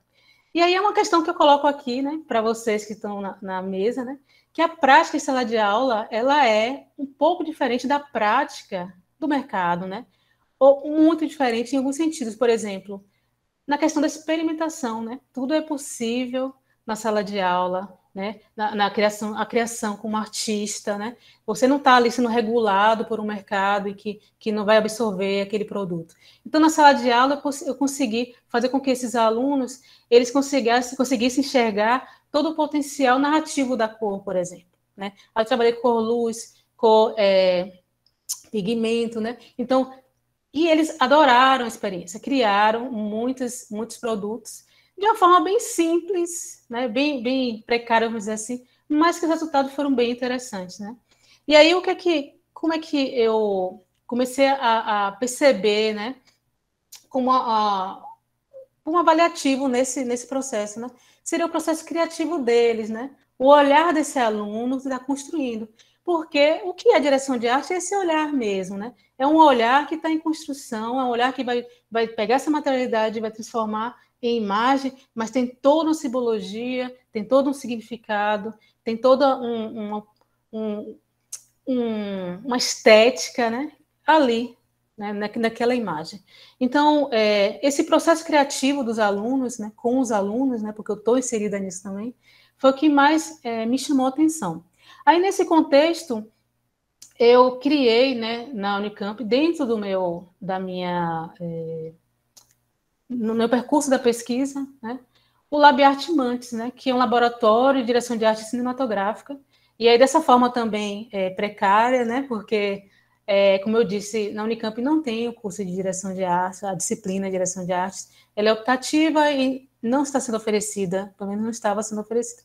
E aí esses alunos se juntaram a mim, e aí é, é eu realizei algumas atividades que me permitiram enxergar essa questão do desenvolvimento metodológico, né? O que é que eu queria com essa metodologia? Infelizmente, é, isso eu estou falando de 2019, né? Aí veio a pandemia, me deu uma rasteira, né? Eu acho que a, a pandemia atravessou um pouco a minha pesquisa. Então, é algo que eu ainda estou. É, eu finalizo uma, uma parte no, na tese, né? Mas que é algo que eu ainda estou desenvolvendo, ainda estou ampliando, porque é, eu sou pesquisadora, então vou estar sempre pesquisando, independente de títulos, né? É o olhar que a gente tem. E aí esse laboratório foi uma experiência bem rica, né? É, dentro das possibilidades, dentro das dificuldades, né? Que é a, a é, estrutural mesmo de universidade, né? Universidade pública. Mas enfim, foi uma experiência muito rica, né? E aí como é que eu, eu o que, é que eu quero dizer com tudo isso, né? É, aqui nessa mesa, né? O que eu quero dizer é o seguinte, que é, o ensino, ele permite que nós ampliemos nossa visão, né? seja lá como, como é, profissionais, como pesquisadores, como professores, mas o ensino, ele faz com que a gente aprenda também, né? A gente está ensinando, a gente está aprendendo, e a direção de arte é um componente permite isso, porque a gente está lidando com subjetividade, né? A gente está lidando com o olhar do outro, com a visão do outro, que faz com que a gente enxergue as coisas, enxergue coisas que a gente nem, nem percebeu antes, né? E a gente também, como docente, eu não sei vocês, mas os alunos se encantam, né? Porque está trazendo também um mundo que é, eles não conheciam. E, especialmente o ensino da cor é fantástico, porque quando eu começo a falar de cor, aí eu trago a teoria das cores, né? E, e essa questão da teoria das cores eu aprofundei muito, né, na, na, na minha pesquisa de doutorado, porque, de certa forma, a, a teoria das cores e a cor né, ensinada de uma forma errônea, vamos dizer assim, na, na, na, universidade, mas enfim, não vou entrar nessa questão. Mas é quando eu trago as cores, o que eu falo, quando eles entendem o que é realmente cor e da potencialidade que a cor traz para um projeto visual, né, para um filme, aí é fantástico, né? E aí é fantástico eles entenderem e, e é fantástico eu, eu perceber como eles entenderem e como eles decodificam isso também, né? Então, essa experiência dessas trocas fecundas que eu falo aqui, entre docente e, e, e, e discentes, é o que mais me, me, me deixa entusiasta, né, de ser professora, né? E aí, uma outra questão também, que aí é uma coisa que a gente tem que, que eu acho que a gente tem que é, avançar, né, a partir dessa mesa, é, que a ausência da estrutura rígida no ensino da direção de arte, né? Claro que eu não sou a favor disso, eu acho que não é, a direção de arte nem comporta estrutura rígida, né? Mas a, essa ausência, ao mesmo tempo, ela nos deixa perdida, né? Mas também nos deixa, é, nos permite a experimentação, né? e desenvolvimento de diferentes abordagens e metodologias, sim, metodologia de ensino. Né? Então, acho que nós, como docentes, está na hora da gente sistematizar nossas metodologias, né? Tá na hora da gente é, é, trazer nossa contribuição é, para com material didático, como, como experiência, seja em artigos, né, seja livros. Então, acho que é o momento do, dos docentes, independente de título, né? Estou falando de, de, de de, de é, conteúdo mesmo, de, de, conteúdo que vem da prática também, né? Então, acho que é o momento disso, né? Da gente buscar trazer é, é, essa, essa experiência e fazer com que é, mais pessoas, né? porque, de certa forma, isso vai contribuir, sim, para uma ampliação estética do nosso cinema, né? E da nossa televisão, porque a direção de arte, ela permite isso, né? Não permite essa ampliação. E aí, é, só para finalizar, tudo que eu é, pesquisei no doutorado, e aí, como eu disse, a minha tese eu, eu considero ainda incompleta, e é, os problemas que eu passei, inclusive por conta da pandemia e tal, é, também contribuíram um pouco para essa incompletude, e é o que eu vou dar, dar a, a, caminhar, né? Então, essa metodologia que eu desenvolvo na minha, na minha tese, que é de criação de paleta de cores, eu, eu enxergo também como uma metodologia que está voltada para o ensino também, né? Que é como ensinar ao aluno da, de um curso de cinema audiovisual, de produção audiovisual, tecnológico que for, um curso da IC, como é que ensina, como é que eu posso ensinar o aluno a desenvolver a sua paleta de cores? Porque é, está falando de, de, uma, de uma metodologia que envolve questões subjetivas, né, que envolve visão de mundo, mas também de, envolve uma, uma um domínio sobre a matéria que está ali, né? sobre a cor daquela matéria. Né? Então, é, então, essa metodologia de ensino é, que eu consegui enxergar na minha pesquisa, eu acredito que está em várias pesquisas. Né? Então, é o que eu coloco aqui. Eu acredito que nós, pesquisadores, profissionais, docentes de direção de arte, cabe agora nós é, sistematizar e é, divulgar né, essas possibilidades para auxiliar outros profissionais que estão é, ensinando direção de arte. Bom, gente, já falei demais também. É isso, obrigada. Obrigada a você, Milena, pela sua fala, por compartilhar essa sua pesquisa com a gente. Sua pesquisa é muito importante para a direção de arte e nos deixa com vontade de ver mais né, sobre essa metodologia de na socinha, na socinha. É, de, de, criação de paleta de cores. É, e quando você fala que sua tese ainda está incompleta, toda a tese é incompleta mesmo. O nosso trabalho não acaba nunca, né? E como é bonito que a gente está construindo aqui, né? Falas diversas, Ana Paula, Tainá, eu, Milena, e, e tantas falas potentes, né, que acabam conversando.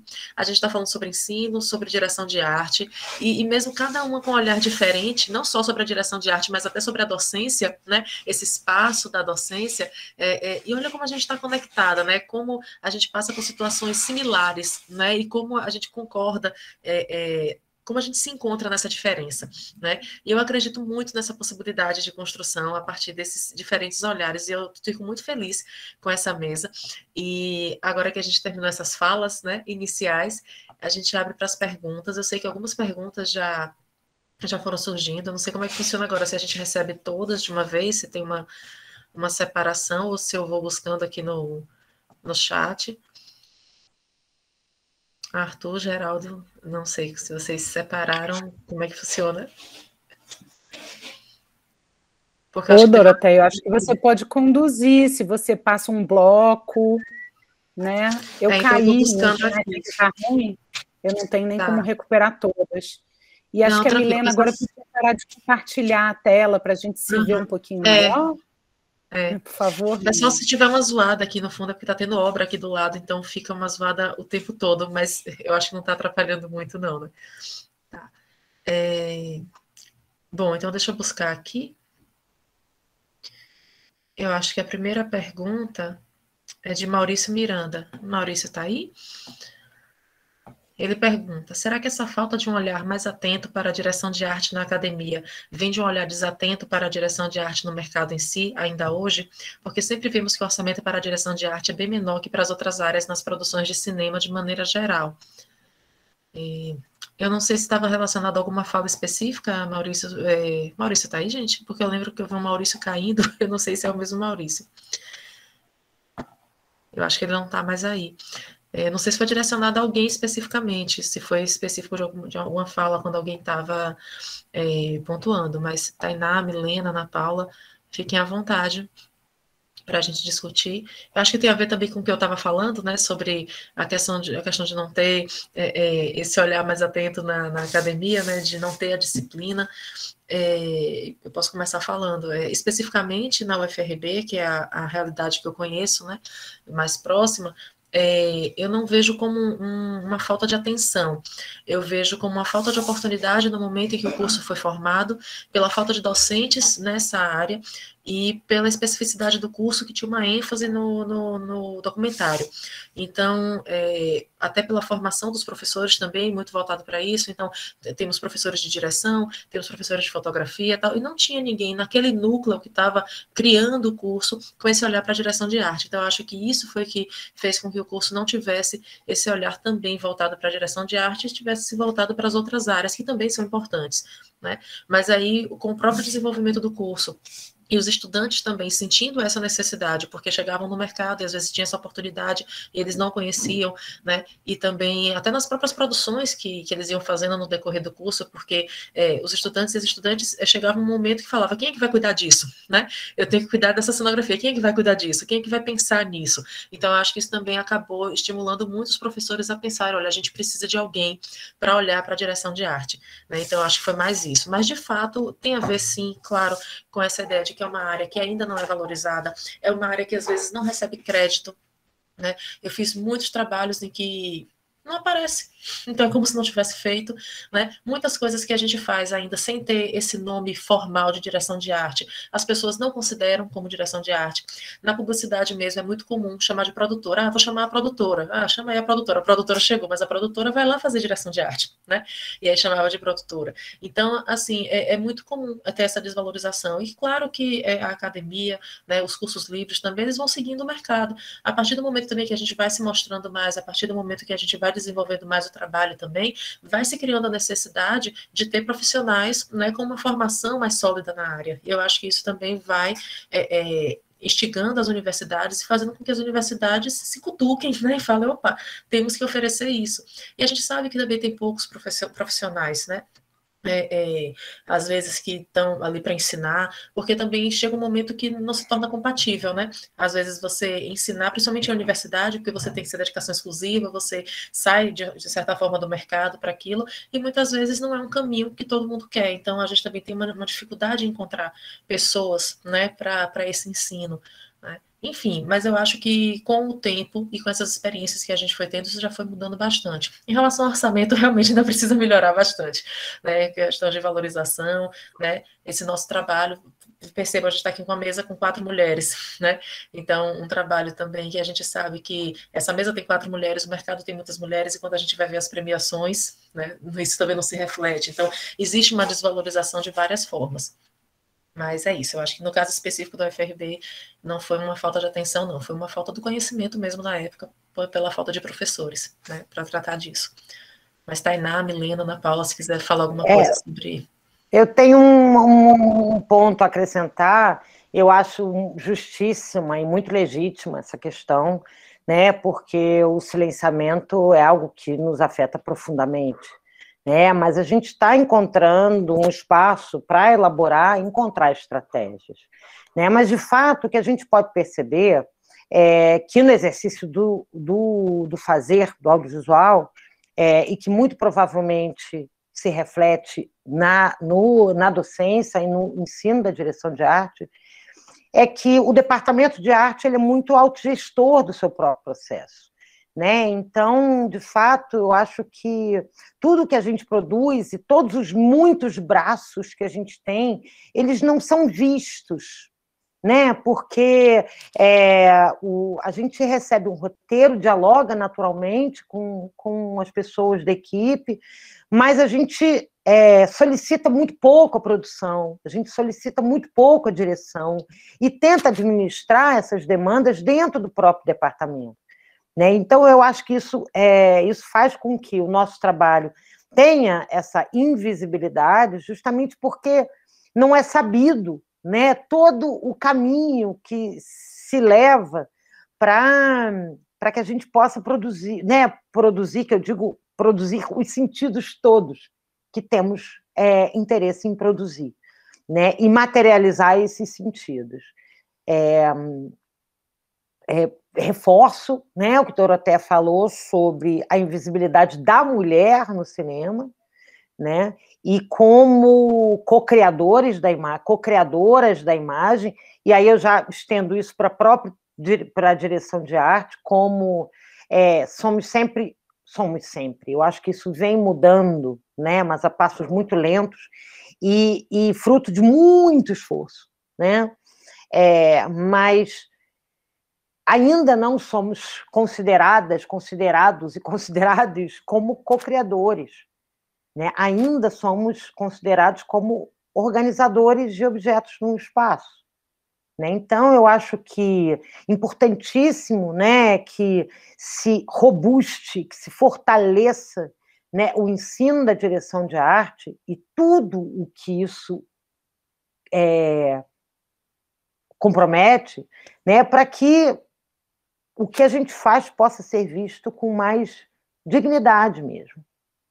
Né? E não só no orçamento, o orçamento também, mas são nas discussões, nas ideias, na, nas propostas.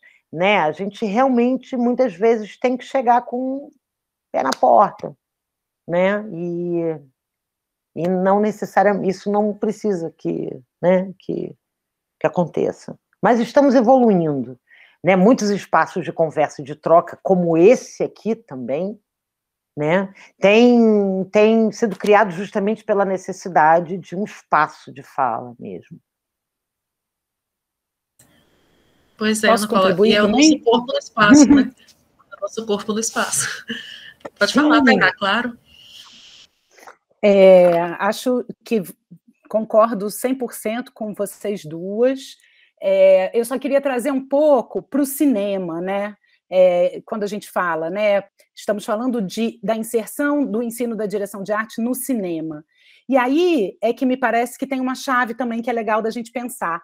Quando a gente pensa, quando eu pergunto no final da minha apresentação de que cinema nós estamos falando. Porque quando a gente parte do, do pressuposto da linguagem, da imagem transparente, do discurso transparente, daquele cinema que se oculta enquanto uma ação criativa, que se, que se oculta enquanto gesto de criadores que se encontram e escolhem e definem o enquadramento vai ser assim ou vai ser assado, eu filmo aqui ou eu eu filmo ali. Né? Quando a gente herda toda essa tradição de ocultamento dos gestos criativos envolvidos na realização de um filme, me parece que sobre a direção de arte isso cai como uma, como é que chama aquela, uma bigorna, né? Aquele peso que cai em cima do pica-pau. Porque no momento em que o gesto de criação dos espaços e da caracterização dos, dos, personagens está ocultados, a direção de arte ela parece coisa do mundo. A direção de arte é o mundo. O, Benedito Ferreira fala coisas lindas, né? Deus é diretor de arte, né? Porque a gente ouve muito aquilo, ah, não precisa de, de direção de arte. Tá pronto, Deus é diretor de arte, ele deu essa paisagem maravilhosa. Para a gente é só chegar com a câmera e filmar. Né? Então, eu, eu acho que é, é, também pensar isso, né? Que cinema foi esse que criou essa cultura da desarticulação das coisas do mundo em relação aos gestos criativos de uma obra audiovisual?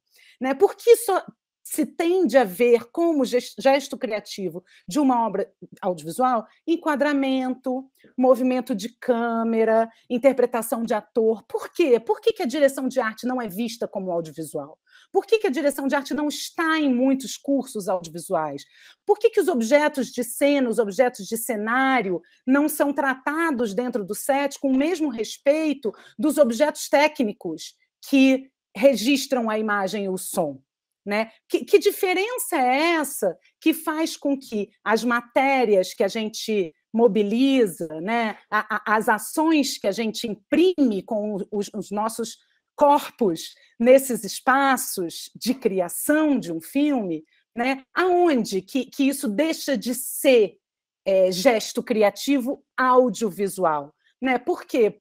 Porque por a gente mobilizar e trazer as matérias do mundo para esses mundos que nós estamos inventando junto e que a câmera está habitando e olhando, né? É, aonde, em que, em que lugar é, esse nosso gesto se separou? Eu acho que isso, é, quando, quando eu pergunto de que cinema é esse que a gente está falando, é um pouco nesse sentido, né? Como é que é, esse pensar da criação da obra audiovisual ele está ocultando ou ele está potencializando, ele está ele tá permitindo uma direção de arte, por exemplo, que grite, né, como a Iomana Rocha pesquisa?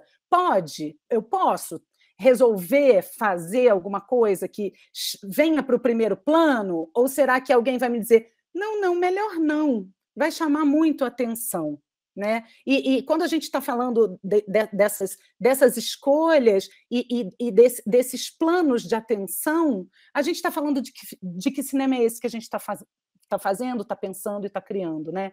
E aí, só para fechar, é, eu acho que a Doroteia e a Ana tocaram nesse ponto, é, eu acho que essa nossa conversa sobre gênero também esbarra por aí né? Porque quando a gente fala dessas coisas do mundo, esse mundo que parece dado, né? Esse mundo que também é o mundo da casa, é o mundo da comida que também aparece pronta no fogão, é o mundo da roupa que vai andando e cai no cesto, esse mundo de organizar tanta coisa complicada, né? Que recai também sobre a mulher, né? Esse mundo da gestão e da gestão invisível e aí que eu acho que eu me conecto com a fala da Paula, da Ana Paula, né? Essa gestão invisível e ultra complexa de um departamento de arte, mas é invisível, é silenciosa, está tudo ali, a hora e a tempo, né?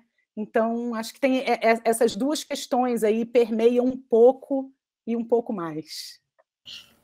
Posso também contribuir? Claro, pode sim, Milena. Bom, eu vou rapidinho, assim, né, para não estender muito o horário. Mas é interessante porque essa invisibilidade, né, que está falando de uma da produção, né, no, no contexto da produção, como ela também se, se expressa na academia, né, no meio da pesquisa.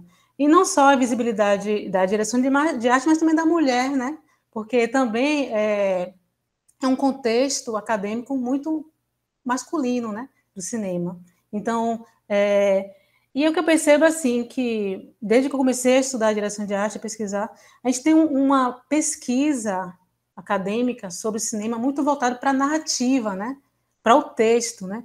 Então você tem um espaço muito grande para é, análise do filme a partir do que ele tá ele está dito, mas não necessariamente do que está dito pela imagem, né? A não ser pelo, pela valorização que há na, no, do fotógrafo, né? Na fotografia, né? Enquanto a direção de arte é invisível, o fotógrafo ele é um, um deus assim. Mas ainda assim eu percebo que a academia ele vai pela, pela análise da, da narrativa, né? O que é que o filme quer contar, que ideologia traz, que é, que é ótimo, é fantástico, né?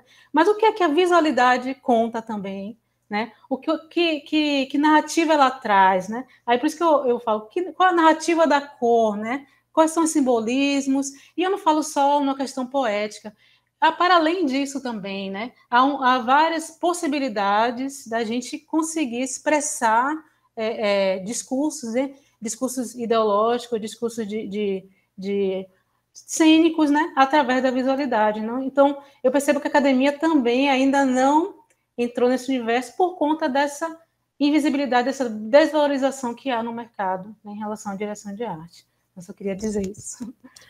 Obrigada, Milena. Obrigada a todas pelas contribuições. Então, Maurício, se você tiver mais alguma questão para colocar em relação a isso, se você se sentiu contemplado né, com as respostas que a gente deu, acho que é, é um momento realmente da gente pensar. Né? Acho que é uma pergunta que fez a gente pensar em muita coisa.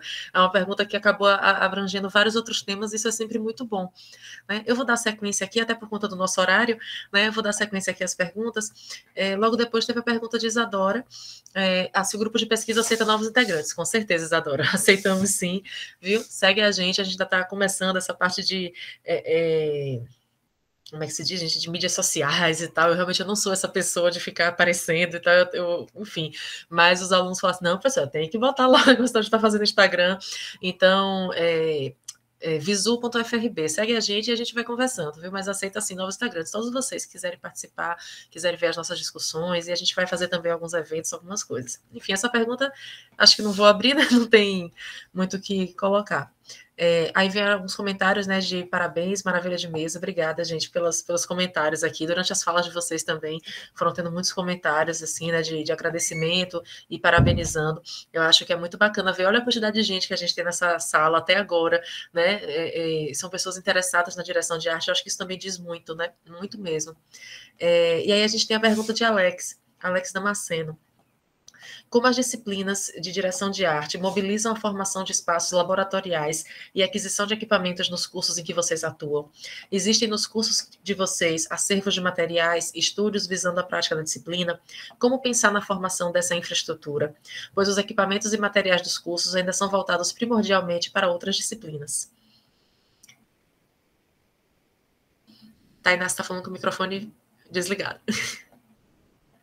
É uma ótima pergunta. É, é, é, um é um entrave aí. Você quer começar a falar? Ai, não sei, posso. É... Pode. Eu posso dar um relato rápido aqui da minha experiência na Unila, né? Que foi uma. você deve ter um relato parecido também com a sua experiência na UFRB, porque quando eu é, comecei a dar aula de direção de arte na Universidade da Integração Latino-Americana, é, era um curso em implantação, o curso é, começou em 2012 e eu cheguei em 2014, fui a primeira professora de direção de arte do curso, é, e aí a gente começou justamente a se debater com essas questões. É, eu acho que tem uma primeira questão que é, que é bem complicada na formação dessas infraestruturas para direção de arte, que é a gente precisa de uma diversidade muito grande de materiais e de ferramentas né? E muitas vezes em pequenas quantidades, o que é completamente oposto da lógica da licitação da universidade pública.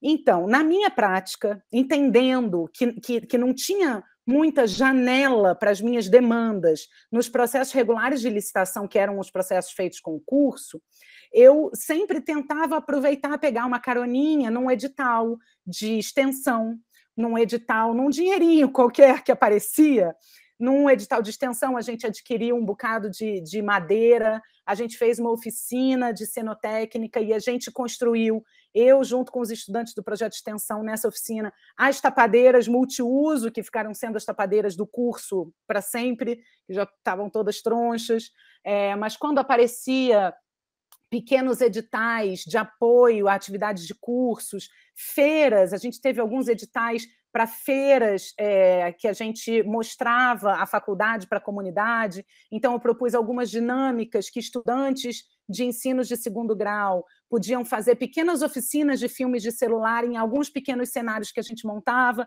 e aí eu conseguia mais uma graninha, e nessa eu ia, comprava um, umas chapas de, de compensado, fazia sei lá, uns praticáveis, umas três tabelas, umas, umas tapadeiras, um pouco de tinta, usava ali naquela, naquela dinâmica, o que sobrava, a gente usava nas nossas práticas de disciplina.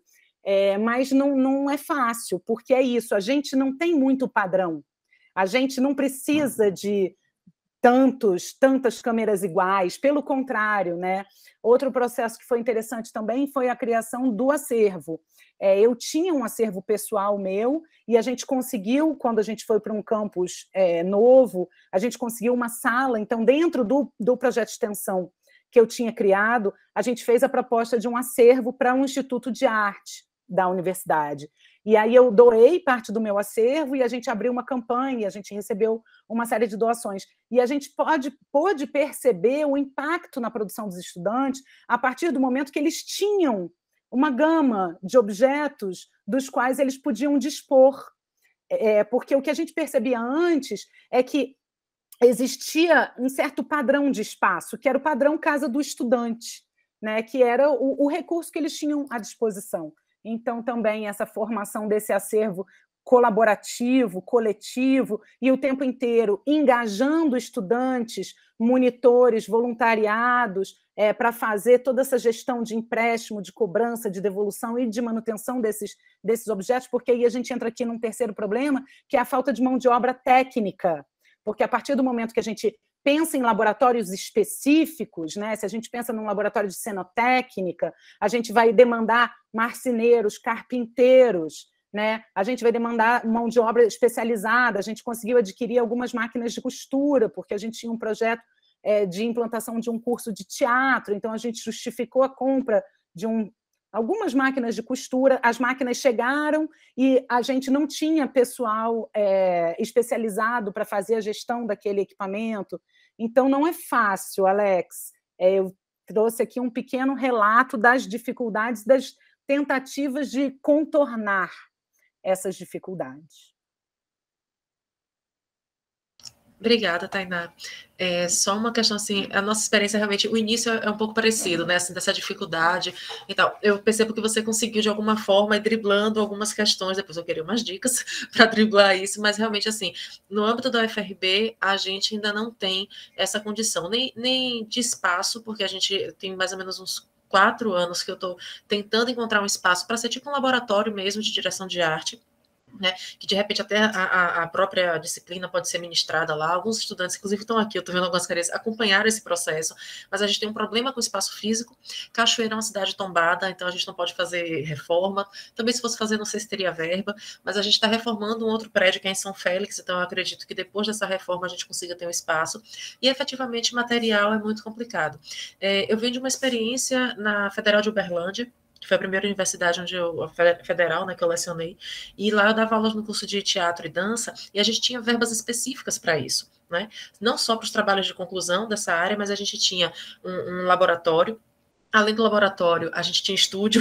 Além do estúdio, a gente tinha um local de acervo. Então, a gente tinha um cenógrafo, né? É um técnico contratado mesmo, efetivo. A gente tinha um cenógrafo, a gente tinha uma figurinista, a gente tinha uma costureira e a gente tinha um espaço onde essas coisas aconteciam, sabe? Tinha uma iluminadora. Então, assim, era ainda assim era um pouco precário, mas diante de tudo era uma coisa assim muito forte. Então, a gente tinha acervo, mas era isso, era, era teatro e dança, né? Não era um curso de cinema.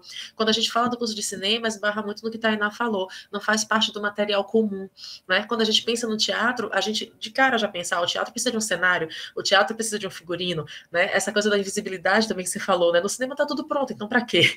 Né? Então, é, lá em Cachoeira acaba que todos os espaços de Cachoeira, Muritiba, São Félix acabam virando, né, os cenários dos filmes, né, as casas, como como Tainá falou. Mas eu acredito também que é um caminho que a gente vai, né, é, tentando outras outras formas. Eu acho que até com um grupo de pesquisa também, tentar editais, vai ter que ser nesse tipo de corre, porque se a gente for esperar também verbas federais cada vez mais escassas, né, eu não creio que isso vai acontecer tão cedo, mas assim fica a esperança, né? E fica à vontade. Eu acho que até também os estudantes também têm se mobilizado muito para isso. E sim, falta é, é, material humano, né? Porque a gente fala assim, precisa ter alguém para cuidar daquele acervo, né? Precisa ter alguém para ver, controlar empréstimo, né? essas coisas, para organizar aquilo, para catalogar, né, para correr atrás, para produzir, né, enfim. Então a gente precisa não só de equipamento, mas também de material humano. Infelizmente é uma realidade, acho que da grande maioria das universidades, pelo menos as públicas, é, eu acredito que passam realmente muito por isso. Tá. É, posso seguir, pessoal, para a próxima pergunta? Vocês querem? Tá bom. É, Isadora, é, Isadora Cardoso. Por onde vocês indicam que seja iniciada por um estudante de graduação em cinema e audiovisual uma pesquisa no âmbito da direção de arte? De que forma seria possível driblar essa falta de materiais didáticos? Mais uma boa pergunta. Ana, Milena, Tainá, algum de vocês quer começar? Excelente pergunta. Por onde a gente indica que seja iniciada uma pesquisa no âmbito da direção Bom, de arte? É Há alguns livros, sim. Aí, quando se trata de pesquisa, eu acho que esses livros cabem muito bem, né? É, tem o livro da Vera Hamburger, né? Tem algumas dissertações também. Já tem muitos trabalhos, muitos artigos sobre direção de arte.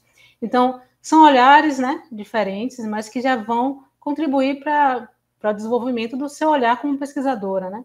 Então, se você der um Google aí, você vai encontrar material, sim, mas é interessante também você desenvolver isso, eu falo por experiência própria, né?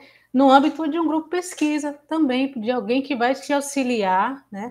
E que tenha um conhecimento de, de direção de arte ou que é, experiência, né? É, de pesquisa, que de visualidade, né? Que e aí essa orientação, né? Para quem está iniciando, eu acho fundamental, né? Mas, assim, é, quando a gente fala de, de, material didático, a gente está falando de, de, materiais que não necessariamente está é, voltado para a academia, mas voltado para uma prática, né? Uma prática mais sistemática, que eu falo. E eu também não estou falando de, do engessamento, não. Eu falo. É aí o desafio, né? A gente não vai engessar, mas a gente também não pode deixar solto demais como está. Né? Então, esse material é que ainda não, não consegui vislumbrar, né? Mas em termos de pesquisa acadêmica, tem muita gente produzindo, a própria Tainá, a Doroteia. No, na Socine, é, há muitos anos, tem muita gente... A Milena. eu mesmo, eu... Desde 2013 que já, já apresento trabalho sobre direção de arte na Socine. Tem outras pessoas que têm apresentado também muitos trabalhos, e todos esses trabalhos estão disponíveis é, no site da Socine, né, gente? Está disponível lá. Então, quem quer pesquisar, quem quer entender melhor, é, vai encontrar muita coisa aí, né, na internet. Posso só fazer um complemento claro. rapidinho? E esse ano a Socine traz pela primeira vez um seminário temático voltado para a direção de arte.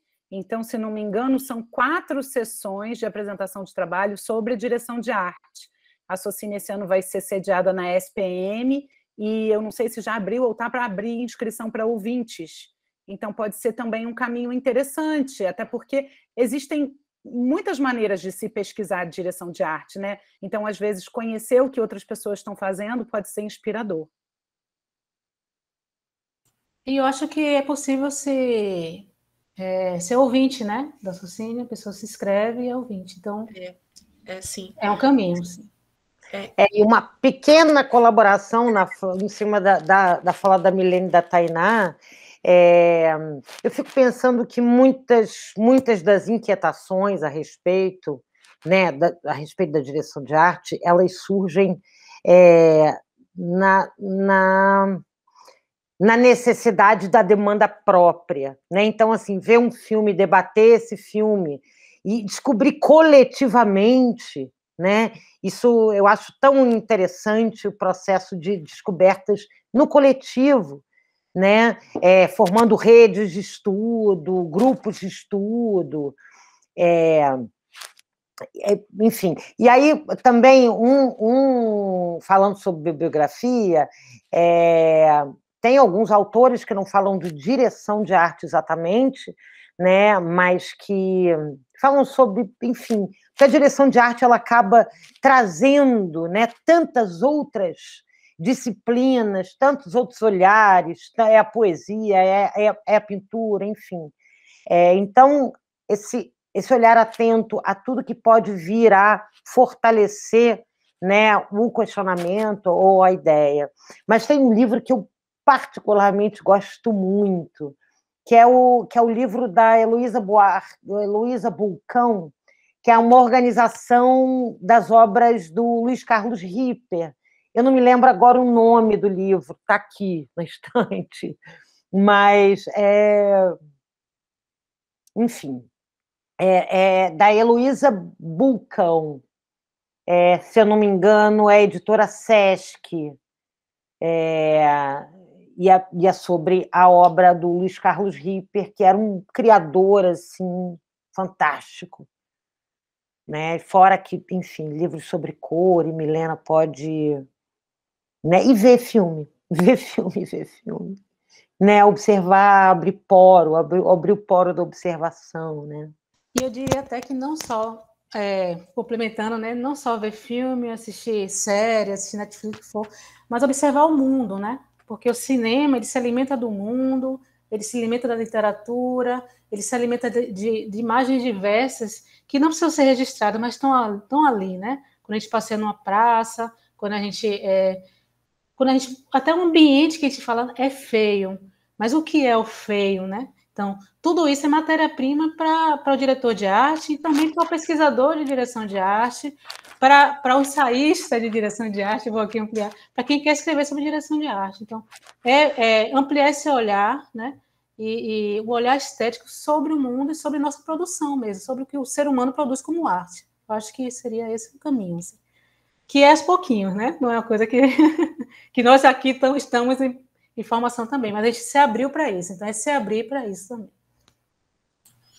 Com certeza, meninas. É, a curiosidade, né, da, da, da, pesquisadora, do pesquisador é o que move, né? Então, enfim, várias dicas aí bem, bem importantes. É, nós temos aqui uma questão, né?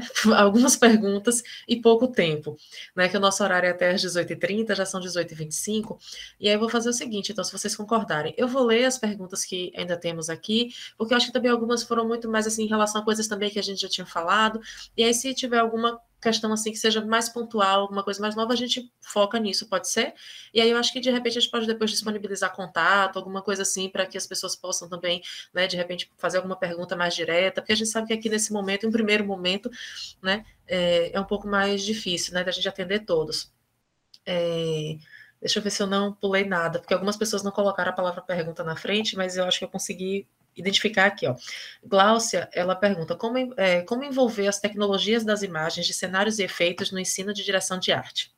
Bacana.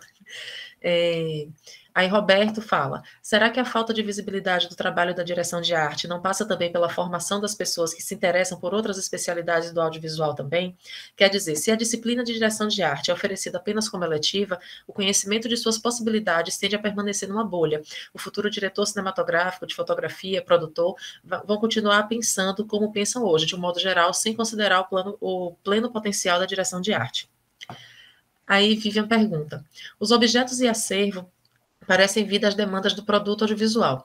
Vocês têm uma sugestão de método inicial ou quais são as matérias-primas para construirmos um acervo inicial para trabalhar com direção de arte nos cursos de cinema? Quais frentes iniciais? E eu acho que só são essas, viu, gente? Então, uma pergunta sobre acervo, né? Começar um acervo, é, sobre essa questão da, da disciplina seletiva, que acho que a gente já acabou discutindo também, né? É, é, um pouco sobre isso. E essa pergunta sobre como envolver as tecnologias das imagens é, de cenários e efeitos no ensino da direção de arte. Acho que é isso. Alguém quer começar? Quer falar? Pode falar. É, é, eu posso falar, mas eu não sei, de repente eu, eu me proponho a fazer um, um, breve comentário e já me já concluir aqui, já me despedindo e agradecendo. É, e fazendo, é, pensando também como é que a gente estrutura essa rede, né? como é que a gente arma essa trama da nossa rede docente de direção de arte, como tem sido feito com as outras redes do Forcine, para que essa conversa continue, eu acho que quem for docente, tiver interesse em se integrar nesse grupo que está nascendo hoje, que é Alegria, pode mandar uma mensagem por, por e-mail para o contato.forcine.gmail.com, que a gente já criou, eu coloquei aqui no chat. A gente, ó, Carol, já estou te respondendo, Carol, maravilhosa. É, a gente criou um grupo de e-mails para a gente poder conversar e seguir tramando nos melhores sentidos. É, falar bem rapidinho sobre as questões e vou aproveitar e vou fazer outro comercial. Estou super cheio de comerciais hoje. Essa pergunta que a Gláucia fez daria uma reunião, uma outra mesa, né, de duas horas.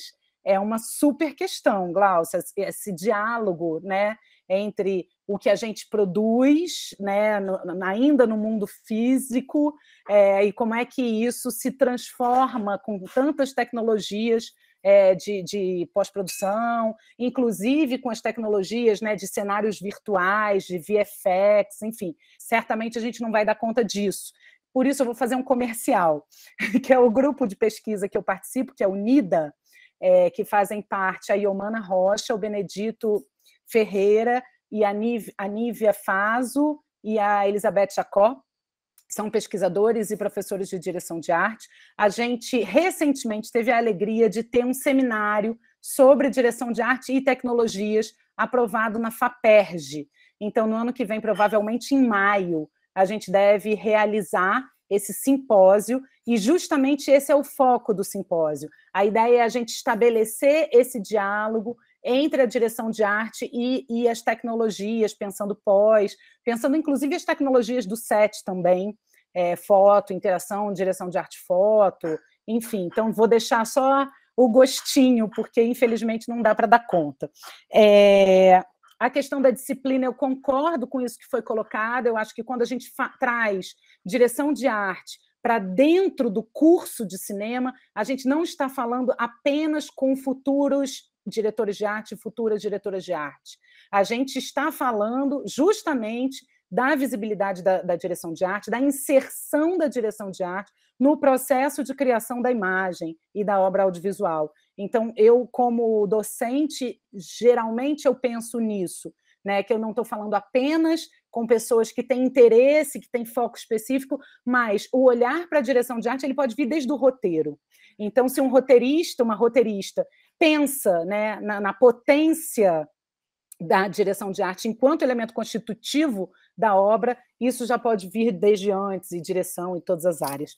E fechando a pergunta da Vivi, é, eu acho que madeira, prego, parafuso, tecido, tecido maravilhoso. A gente lá na Unila, a gente, como está na fronteira, a gente recebia algumas doações de apreensões da Polícia Federal. A gente recebeu uns rolos enormes de tecido, foi uma alegria. Aqueles tecidos viraram tudo. É, mas também a gente também recebeu coisas que as pessoas tinham em casa, badulac, bibelô, abajur. Era sempre o mesmo abajur em todos os filmes, mas a gente tinha um abajur, a gente conseguia criar um clima. Então, acho que vai depender do espaço que você tem né? Se a gente tem pouco espaço, a gente seleciona mais, se a gente tem mais espaço, a gente vai aceitando tudo, porque uma hora alguma coisa serve. E aí a gente vai pensando também, a gente tinha essa, essa gestão, né? A gente pensar, por exemplo, calça jeans. A gente não precisa ter calça jeans no acervo, porque calça jeans todo mundo tem em casa. Então, acho que é também tem a ver com a dificuldade do que você consegue, né? Objetos de, de outras temporalidades, objetos de época, eles sempre interessam, né? Porque eles sempre têm um apelo da, da, da memória, da história enfim, mas eu acho que é a atenção do caso a caso. Falei correndo, já me despeço e agradeço e quero continuar a conversa e a tramar um mundo. Eu brinquei esses dias com as meninas que a gente vai dominar o mundo com a direção de arte. Vai ser ótimo quando isso acontecer. Um beijo, muito obrigada, Ana, Doroteia, Milena e todo mundo. Obrigada a você, Tainá. Agradeço imensamente. Você me fez ter, ter, inveja de uma apreensão da Polícia Federal. Você falou dos tecidos, mulher. ah, então, gente, olha, a gente vai finalizando. Eu queria agradecer a Tainá, Ana Paula, Milena. Milena, Ana Paula, se vocês quiserem também ter algum momento de fala. Agora, finalizando, se vocês quiserem também falar alguma coisa em relação às perguntas. Mas para mim foi muito gratificante, foi um momento assim frutífero, acolhedor. Né? Eu acho que isso também faz parte da pesquisa acadêmica e faz parte da pesquisa de mercado. É a gente conversar sobre essas, essas nossas questões, as nossas condições, a gente trocar né, várias ideias que já surgem, né? Esse, esse, esse seminário que a Tainá falou e que venham outros seminários, né? Que a gente possa conversar. Olha, vamos, vamos encostar o visu aí, viu?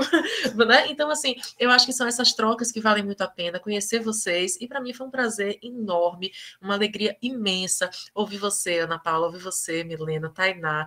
Eu acho que acho que eu saio daqui hoje assim, é, é, maior e melhor, sabe? Eu me sinto assim muito feliz de estar participando desse momento. Obrigada mesmo, meninas. Eu concordo plenamente, eu também sinto, me sinto da mesma forma, né? Eu acho que cada vez que a gente se reúne para falar de direção de arte, para discutir, a gente aprende muito, né, uma com as outras. Então, que essa rede se fortaleça, que a gente volte a se encontrar para discutir outros temas, porque, como as perguntas deixaram claras, questões aqui não faltam, né? E que a gente, que vem a Socine aí, quem puder ir também é, participar como ouvinte, ou como, né? É, participe, porque eu acho que vai ser enriquecedor para todo mundo, para a gente também que vai estar lá, né? Então, para todos nós. Né? Então, agradeço a, a, a audiência também, né? agradeço a todos. Bom, eu gostaria muito de agradecer também.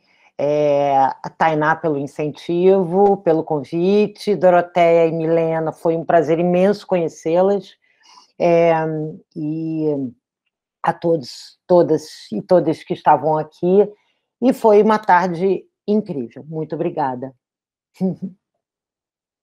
Obrigada a você, obrigada a todas, o pessoal que está aqui a, a, até agora, né, com a gente, que teve que sair mais cedo também, ao pessoal da organização também do Forcine, né, é, pelo apoio, enfim, pela acolhida, por né, disponibilizar esse espaço. Eu estou colocando aqui no, no chat, pessoal, só um, um, um, aviso, tá, que o pessoal do, do Forcine pediu para dar, que é em relação ao, ao mapeamento de diversidade dos cursos de cinema audiovisual do Brasil. Então, quem puder participar, né, a gente agradece que é muito importante a gente fazer esse mapeamento, né, entender né, esse perfil. Então, o, o link está sendo divulgado também nas redes sociais da Forcine, então quem puder participar, quem puder colaborar, a gente agradece bastante. E é isso, pessoal, acho que é com essa fala de gratidão e de muita felicidade de estar aqui dividindo essa mesa com vocês, que a gente encerra, né? É, quem tiver mais perguntas, depois entre em contato com a gente, né? A gente vai conversando. Eu acho que é um início, um início bom, um início feliz, né? E obrigada a vocês pela atenção, pelas perguntas, né? Pelo carinho. E meninas, sem palavras, viu? Que a gente se encontre cada vez mais